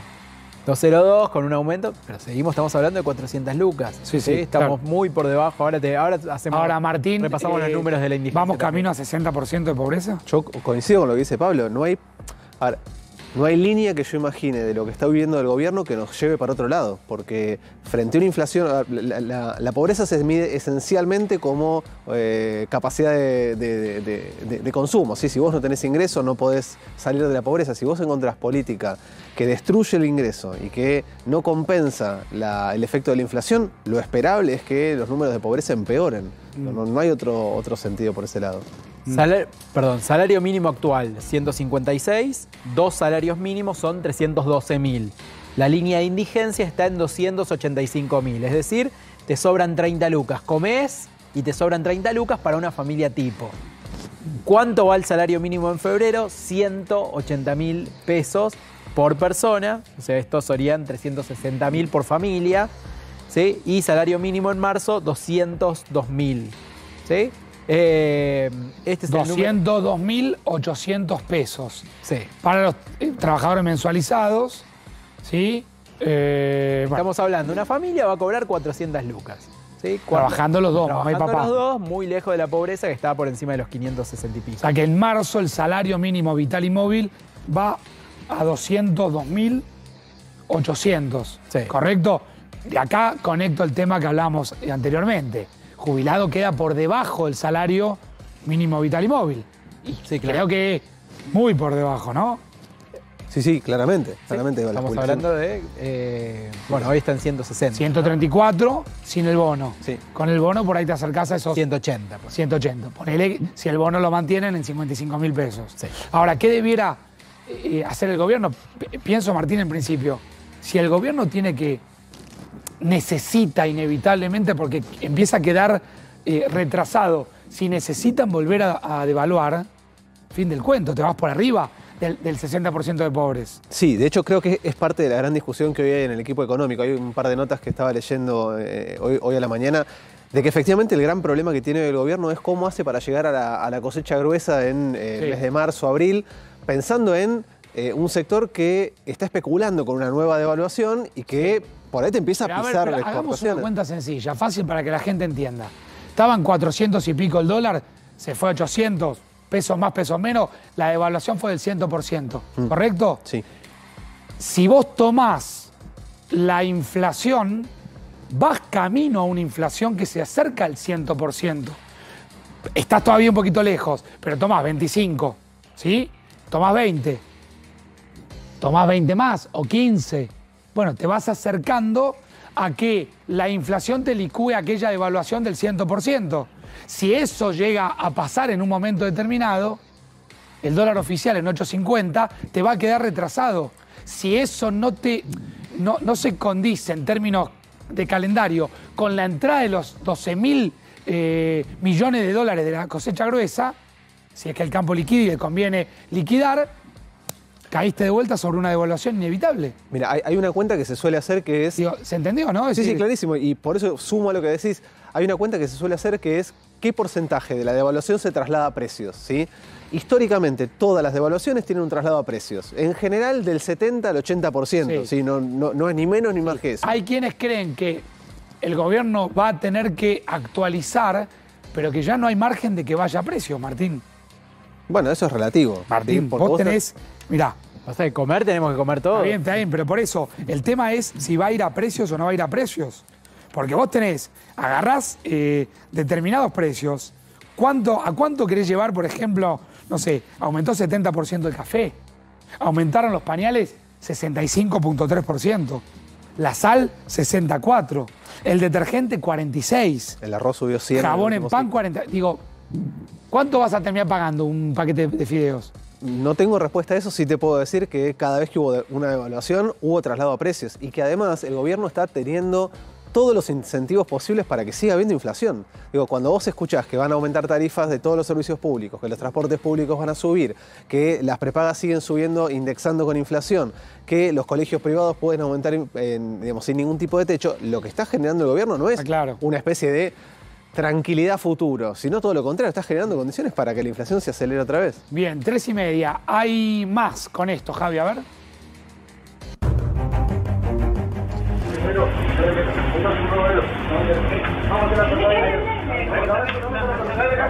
Escuchen lo que pasaba en este comercio. Esto es en La Plata. Hay un nene, hay un nene,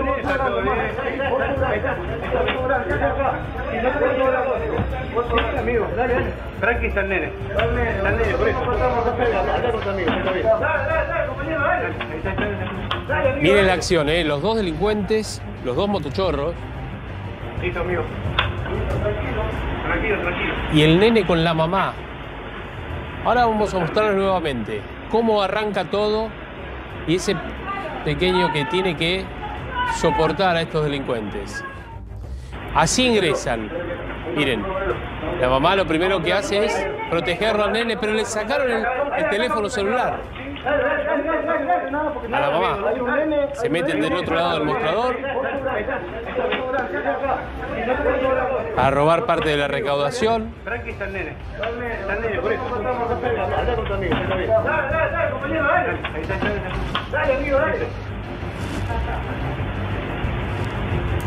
Amigo.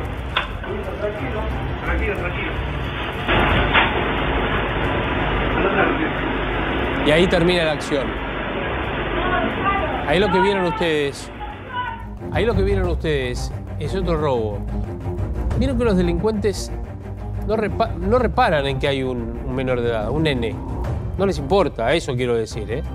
No les importa. A la madre le arrancan el teléfono celular mientras ella está protegiendo a su hijo. Después recorren el local, arma en mano, arma en mano, y el que está al lado de la mamá tiene una pistola en su mano. La mamá lo abraza, no sabe qué hacer, no sabe si escapar, salir corriendo, meterse del otro lado del mostrador hacia adentro justamente de este local o qué hacer. Lo único que tiene hacer es un escudo humano prácticamente para proteger a su hijo. Esto es lo que pasa en muchos comercios. Por eso muchos comercios vuelven a cerrar sus puertas y atender a través de una mirilla, a través de una pequeña ventana. En muchos comercios que pueden hacerlo, por supuesto. Otros están obviamente a, merced de estos, de estos delincuentes. Se llevaron dos teléfonos celulares, se llevaron algo de dinero de la recaudación. Son delincuentes que aparentemente, por la moto que utilizan, ya los habrían visto merodear eh, hace algunos días también allí en la zona. Uno de ellos creen que es menor de edad.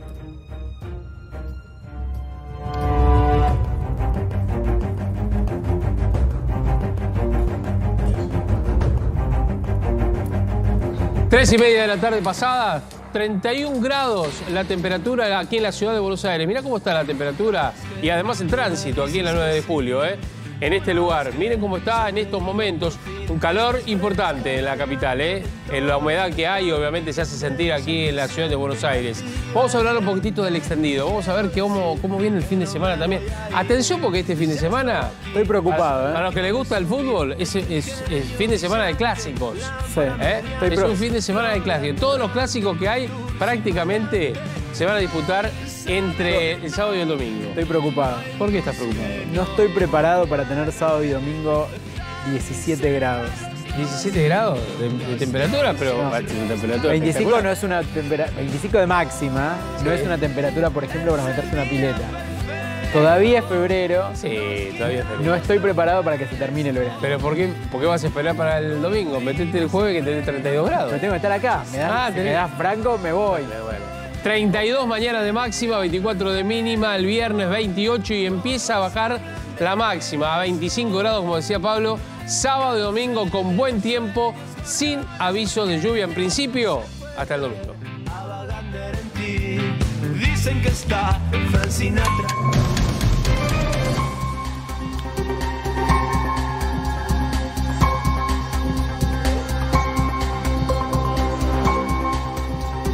Y cuando faltan 25 minutos para las 4 de la tarde, nos vamos a retiro con Elena. Allí está, vamos a ver cómo está el panorama. Atención porque este es el momento en donde empieza la gente a salir del trabajo, ¿eh? a buscar un transporte para volver a la casa. Elena, ¿cómo te va? Buenas tardes.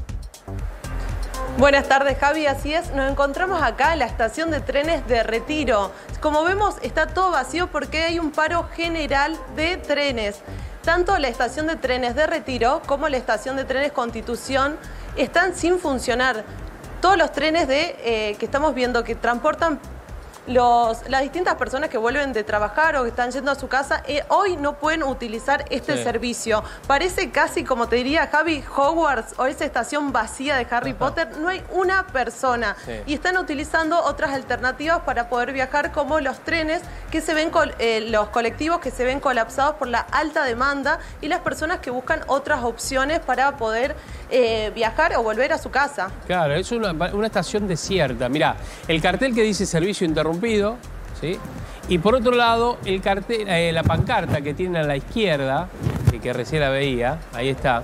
Los ferrocarriles son del pueblo, ¿no es cierto? Esto es de la Unión Ferroviaria. Unión. Que ferroviaria que lo- no adhiera al paro, digamos.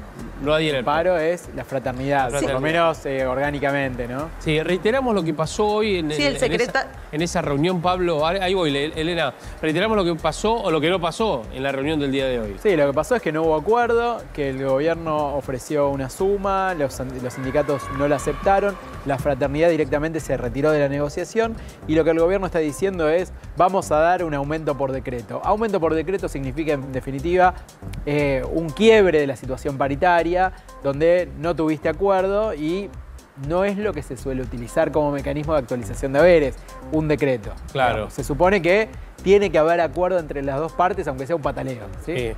Elena, mira, ahí está caminando Elena por una, una estación Mira, acá desierta, estoy caminando, lo estoy llevando por un, est- así como le decía, una estación desierta, pero sí, acá hay sí. algunas personas que trabajan todos los días. Por ejemplo, ¿cómo es tu nombre? Hola, buenas tardes, Sofía. Sofi, ¿cómo estás? ¿Qué es lo que haces acá todos los días? Y acá, bueno, por ejemplo, vendemos panchos, sanguchería, eh, a la mañana vendemos café con medialunas.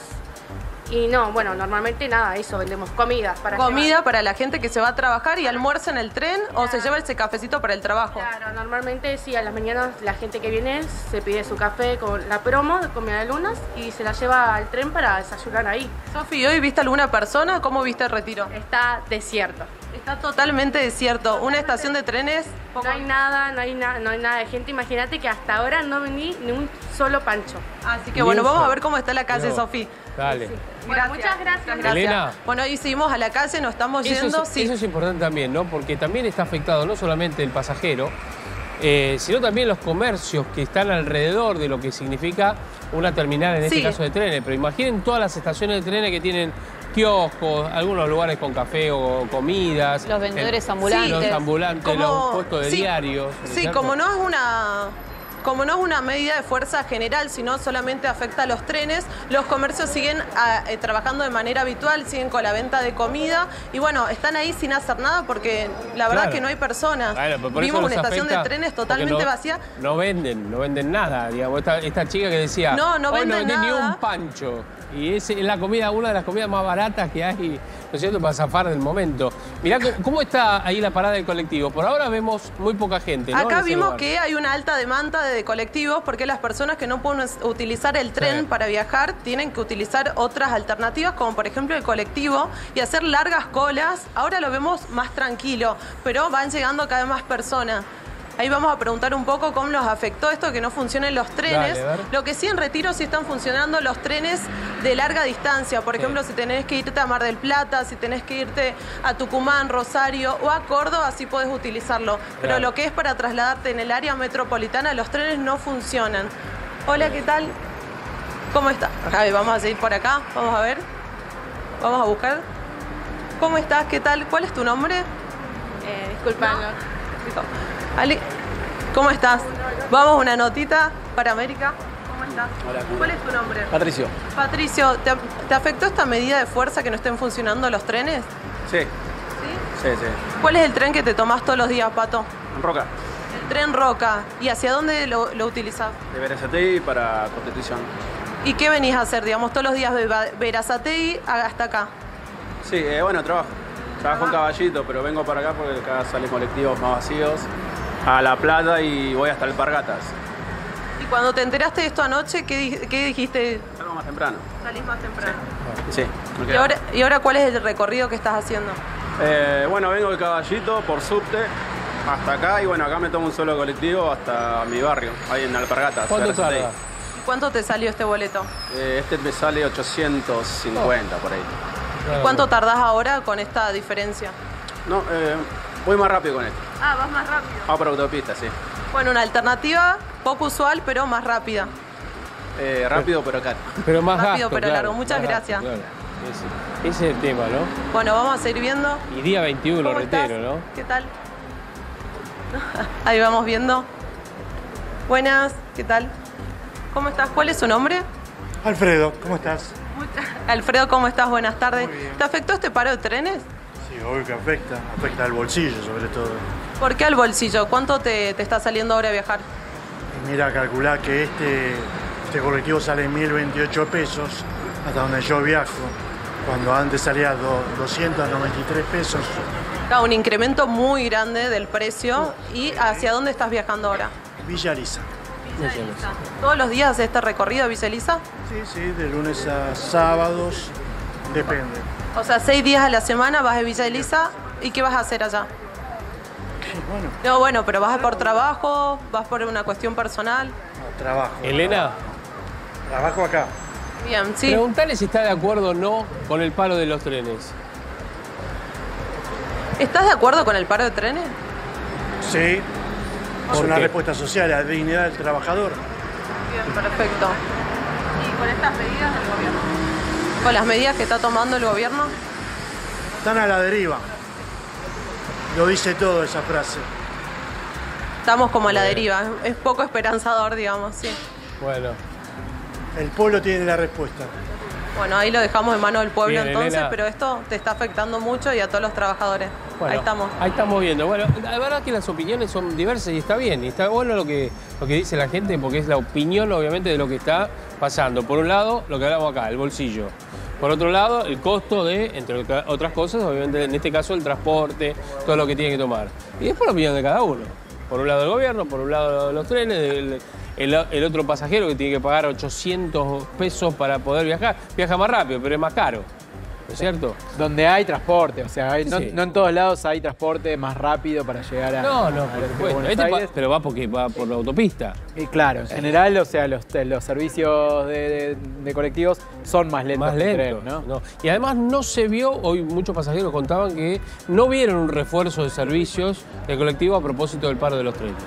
Y a lo que vieron más o menos lo mismo, con la misma eh, tardanza entre coche y coche, y además más cantidad obviamente de gente que está tomando este, el colectivo. Y además cómo afecta el consumo también, porque la persona que tiene que pagar más de tránsito, quizás no vaya a comprar ese pancho que decíamos, Exacto. quizás no vaya a comprar el café. Y eso también afecta a todos. Totalmente, es una rueda. Bueno, Elena, volvemos, volvemos en un ratito. Pausa, 15.43 y ya volvemos. No te vayas.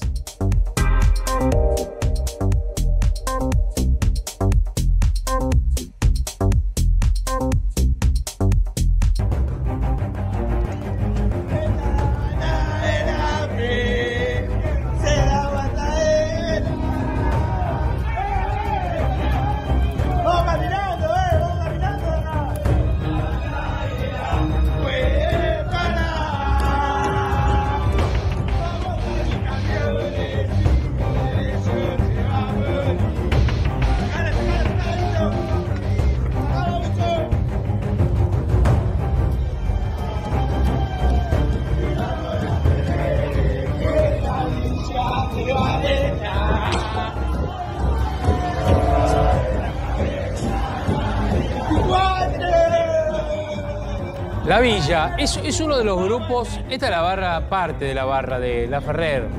Eh, y estoy hablando del club de fútbol La Ferrer, por supuesto, de la zona oeste del Gran Buenos Aires. Era, es un partido en el cual iban a enfrentar, enfrentar en realidad a Deportivo Armenio. Esto ocurrió el fin de semana. Las imágenes fueron grabadas y además subidas por un aficionado también de La Ferrer.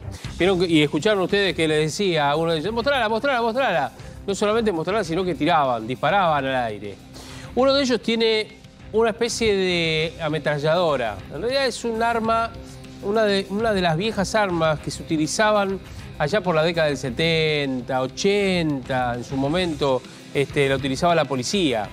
Eh, es una, un arma vieja, pero lo que eh, no indica que es un arma, obviamente, que tiene, es apta para el disparo, cosa que se escucharon algunos disparos también en el frente de- del colectivo, allí cuando estaban mostrando, empuñando algunas de las armas de poeta. Este es el arma que están viendo ustedes justamente en imagen. Viajaban en el techo, viajaban colgados, viajaban armados. Lo que está investigando la justicia, la Previde también, eh, es, bueno, identificar a cada uno de los integrantes que no solamente estaban armados, sino que viajaban en ese colectivo. ¿sí? Son parte de la barra, son parte de violentos de la barra de la Ferrer, del AFE, como les dicen, les dicen ellos. Eh, hoy por la mañana habían confirmado que por lo menos 12 de los que viajaban dentro del colectivo, son unos 20, 30 aproximadamente, ya están identificados. Es más, algunos de los que están armados también han sido identificados por la justicia. Varios de ellos son todos socios del Club La Ferrer, por eso también eso ayuda y contribuye mucho a la identificación. La tenencia ilegal de arma de guerra, por supuesto, el, disparo, el uso indebido, en este caso de un arma de guerra, eh, se considera justamente las armas que tenían estos delincuentes, en su mayoría, por lo menos lo que se puede observar, son pistolas, ¿eh? y que iba- iban exhibiéndolas a medida que iban transitando, ¿eh? yendo a la cancha en ese momento. ¿Vieron que dicen uno de ellos se va a morir? Bueno, porque hay un enfrentamiento dentro de la Ferrer entre di- distintos grupos. Un grupo que había perdido el liderazgo en su momento porque uno de los líderes había caído detenido. Otro grupo, este, que toma ese, ese lugar, ¿eh? en la zona de la villa, como le dicen e- ellos, en kilómetro 24, y que tomaron parte de lo que es el negocio de ser Barra Brava. Esto es lo que más o menos estaban mostrando o que muestran las imágenes y lo que también se está investigando, ¿sabes qué es? Si hubo verdaderamente un cacheo al momento de entrar a la cancha. ¿Y de qué manera se hizo ese, ese cacheo? ¿Por qué? Porque estos tipos armados entraron a la cancha con las armas o las dejaron en algún lugar ocultas para poder ingresar al estadio, ver el partido, por supuesto, y no ser detectados por parte de la policía que efectuaba ese tipo de cacheo. Pero mira cómo viajan, cómo van en los techos. Y uno, uno se pregunta, ¿no es cierto?, entre tanto que hemos visto durante todos estos tiempos eh, violentos en el fútbol, nadie en materia de seguridad se dio cuenta del paso de este micro, de este colectivo, con barra bravas. Ningún efectivo policial estaba en el camino y le pudo haber avisado a alguno de los este, comandos para que llegue hasta ese lugar, porque no solamente van colgados, sino también que van armados. Y que aparte se escucharon los tiros. Entonces quizás los vecinos Además- podrían haber alertado. Es que seguramente los vecinos llamaron al 911 o alertaron.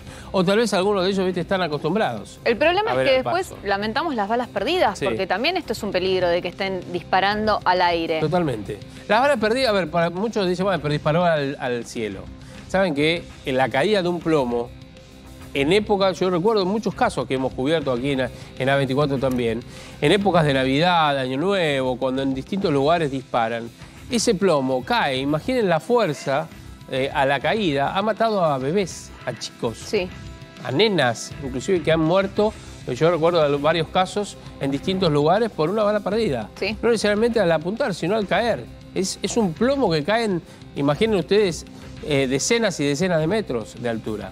Bueno, pero más allá de todo esto, eh, es un colectivo de línea, allí de, creo que es la Ideal San Justo, me parece que es la, la línea de colectivos, si no es el 96, es alguno, alguno parecido de alguna línea de esas que muchas veces van a la cancha, vieron que a veces van a la cancha, lo alquilan, presuntamente lo alquilan, y viajan dentro de, eso- de esos colectivos. Hoy están utilizando algunos colectivos de línea, muchas barras, porque se están haciendo eh, muchos controles para evitar que las barras lleguen a los estadios. ¿Y de qué manera? Les cortan el paso en distintos accesos, por ejemplo, autopistas, avenidas y demás, en algunos controles. Y cuando el colectivo no reviste las medidas de seguridad necesarias, le cortan el paso, no pueden avanzar y quedan varados. Claro. Muchos de ellos quedan varados. Pero esto es una investigación que se está haciendo, obviamente, en la Fiscalía allí en ese lugar, teniendo en cuenta, bueno, este hecho. Por, por demás, bueno, eh, la Ferrer va a jugar en este fin de semana. Creo que iba a jugar el domingo y lo pasarían para el lunes, e- por estos días, una vez más. Y, y eso es lo que obviamente se está tratando de eh, investigar rápidamente para evitar que los violentos vayan a las canchas. Por supuesto, si actúa la Previde, allí se eh, consagrará, esperemos, de alguna manera, el derecho de admisión. Esto ocurrió con la barra de la Ferrer.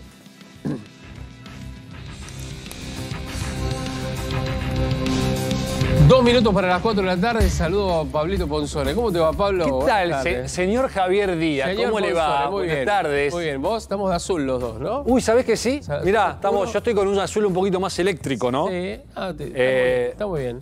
eh, Colores más o menos engamados. Estamos bien, estamos bien. Che, estoy viendo esto que, que está- te estaba siguiendo. Nosotros ayer contábamos algunas de estas imágenes, nos Sí. sorprendíamos, abríamos los ojos grandes.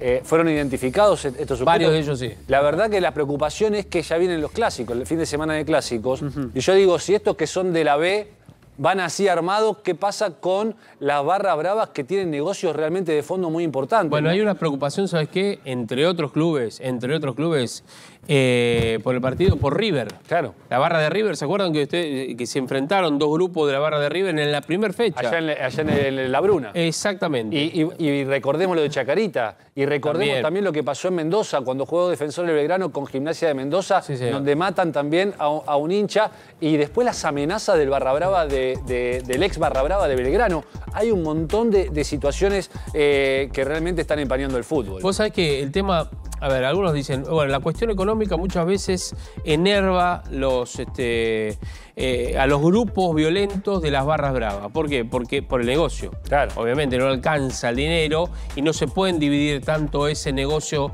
oscuro de, de- de los trapitos, de, de la custodia, de las, en este caso de las intimidaciones y demás. Por eso, pero esto viene de hace mucho. En época de bonanza también pasa lo mismo. ¿eh? Sí, sí, Lo que sí, pasa es que a claro. veces no se, no se nota tanto. Y es verdad lo que vos decís, la preocupación por los clásicos también hace y habla a las claras justamente de los enfrentamientos que hay en distintas barras. Tal cual. Javi, ¿sabes qué?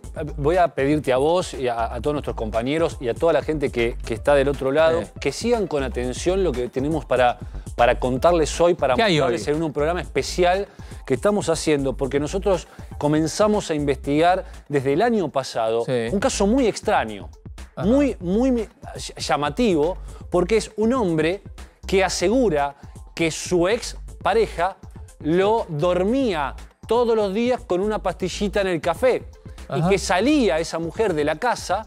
Finalmente esa mujer se termina retirando del domicilio tras una separación y com- comienza a denunciar quien habría sido víctima de esta presunta viuda negra que era su esposa, empieza a denunciar una serie de hechos eh, realmente muy graves que incluyen extorsión, eh, un intento de amenaza, homicidio, porque han ido cinco sujetos a, a su casa encapuchados y lo han molido a golpes, le han eh, aplicado eh, 14 culatazos en la cabeza. Eso para robarle, digamos. Eso para robarle en medio, en medio de una serie de amenazas eh, que, to- que fueron denunciadas a la justicia. A ver, te pido eh, a, a vos que estás en tu casa que prestes atención porque con todo nuestro equipo vamos a analizar, porque por primera vez, por primera vez va a dar la cara esta mujer que eh, según su ex marido lo fue eh, durmiendo día a día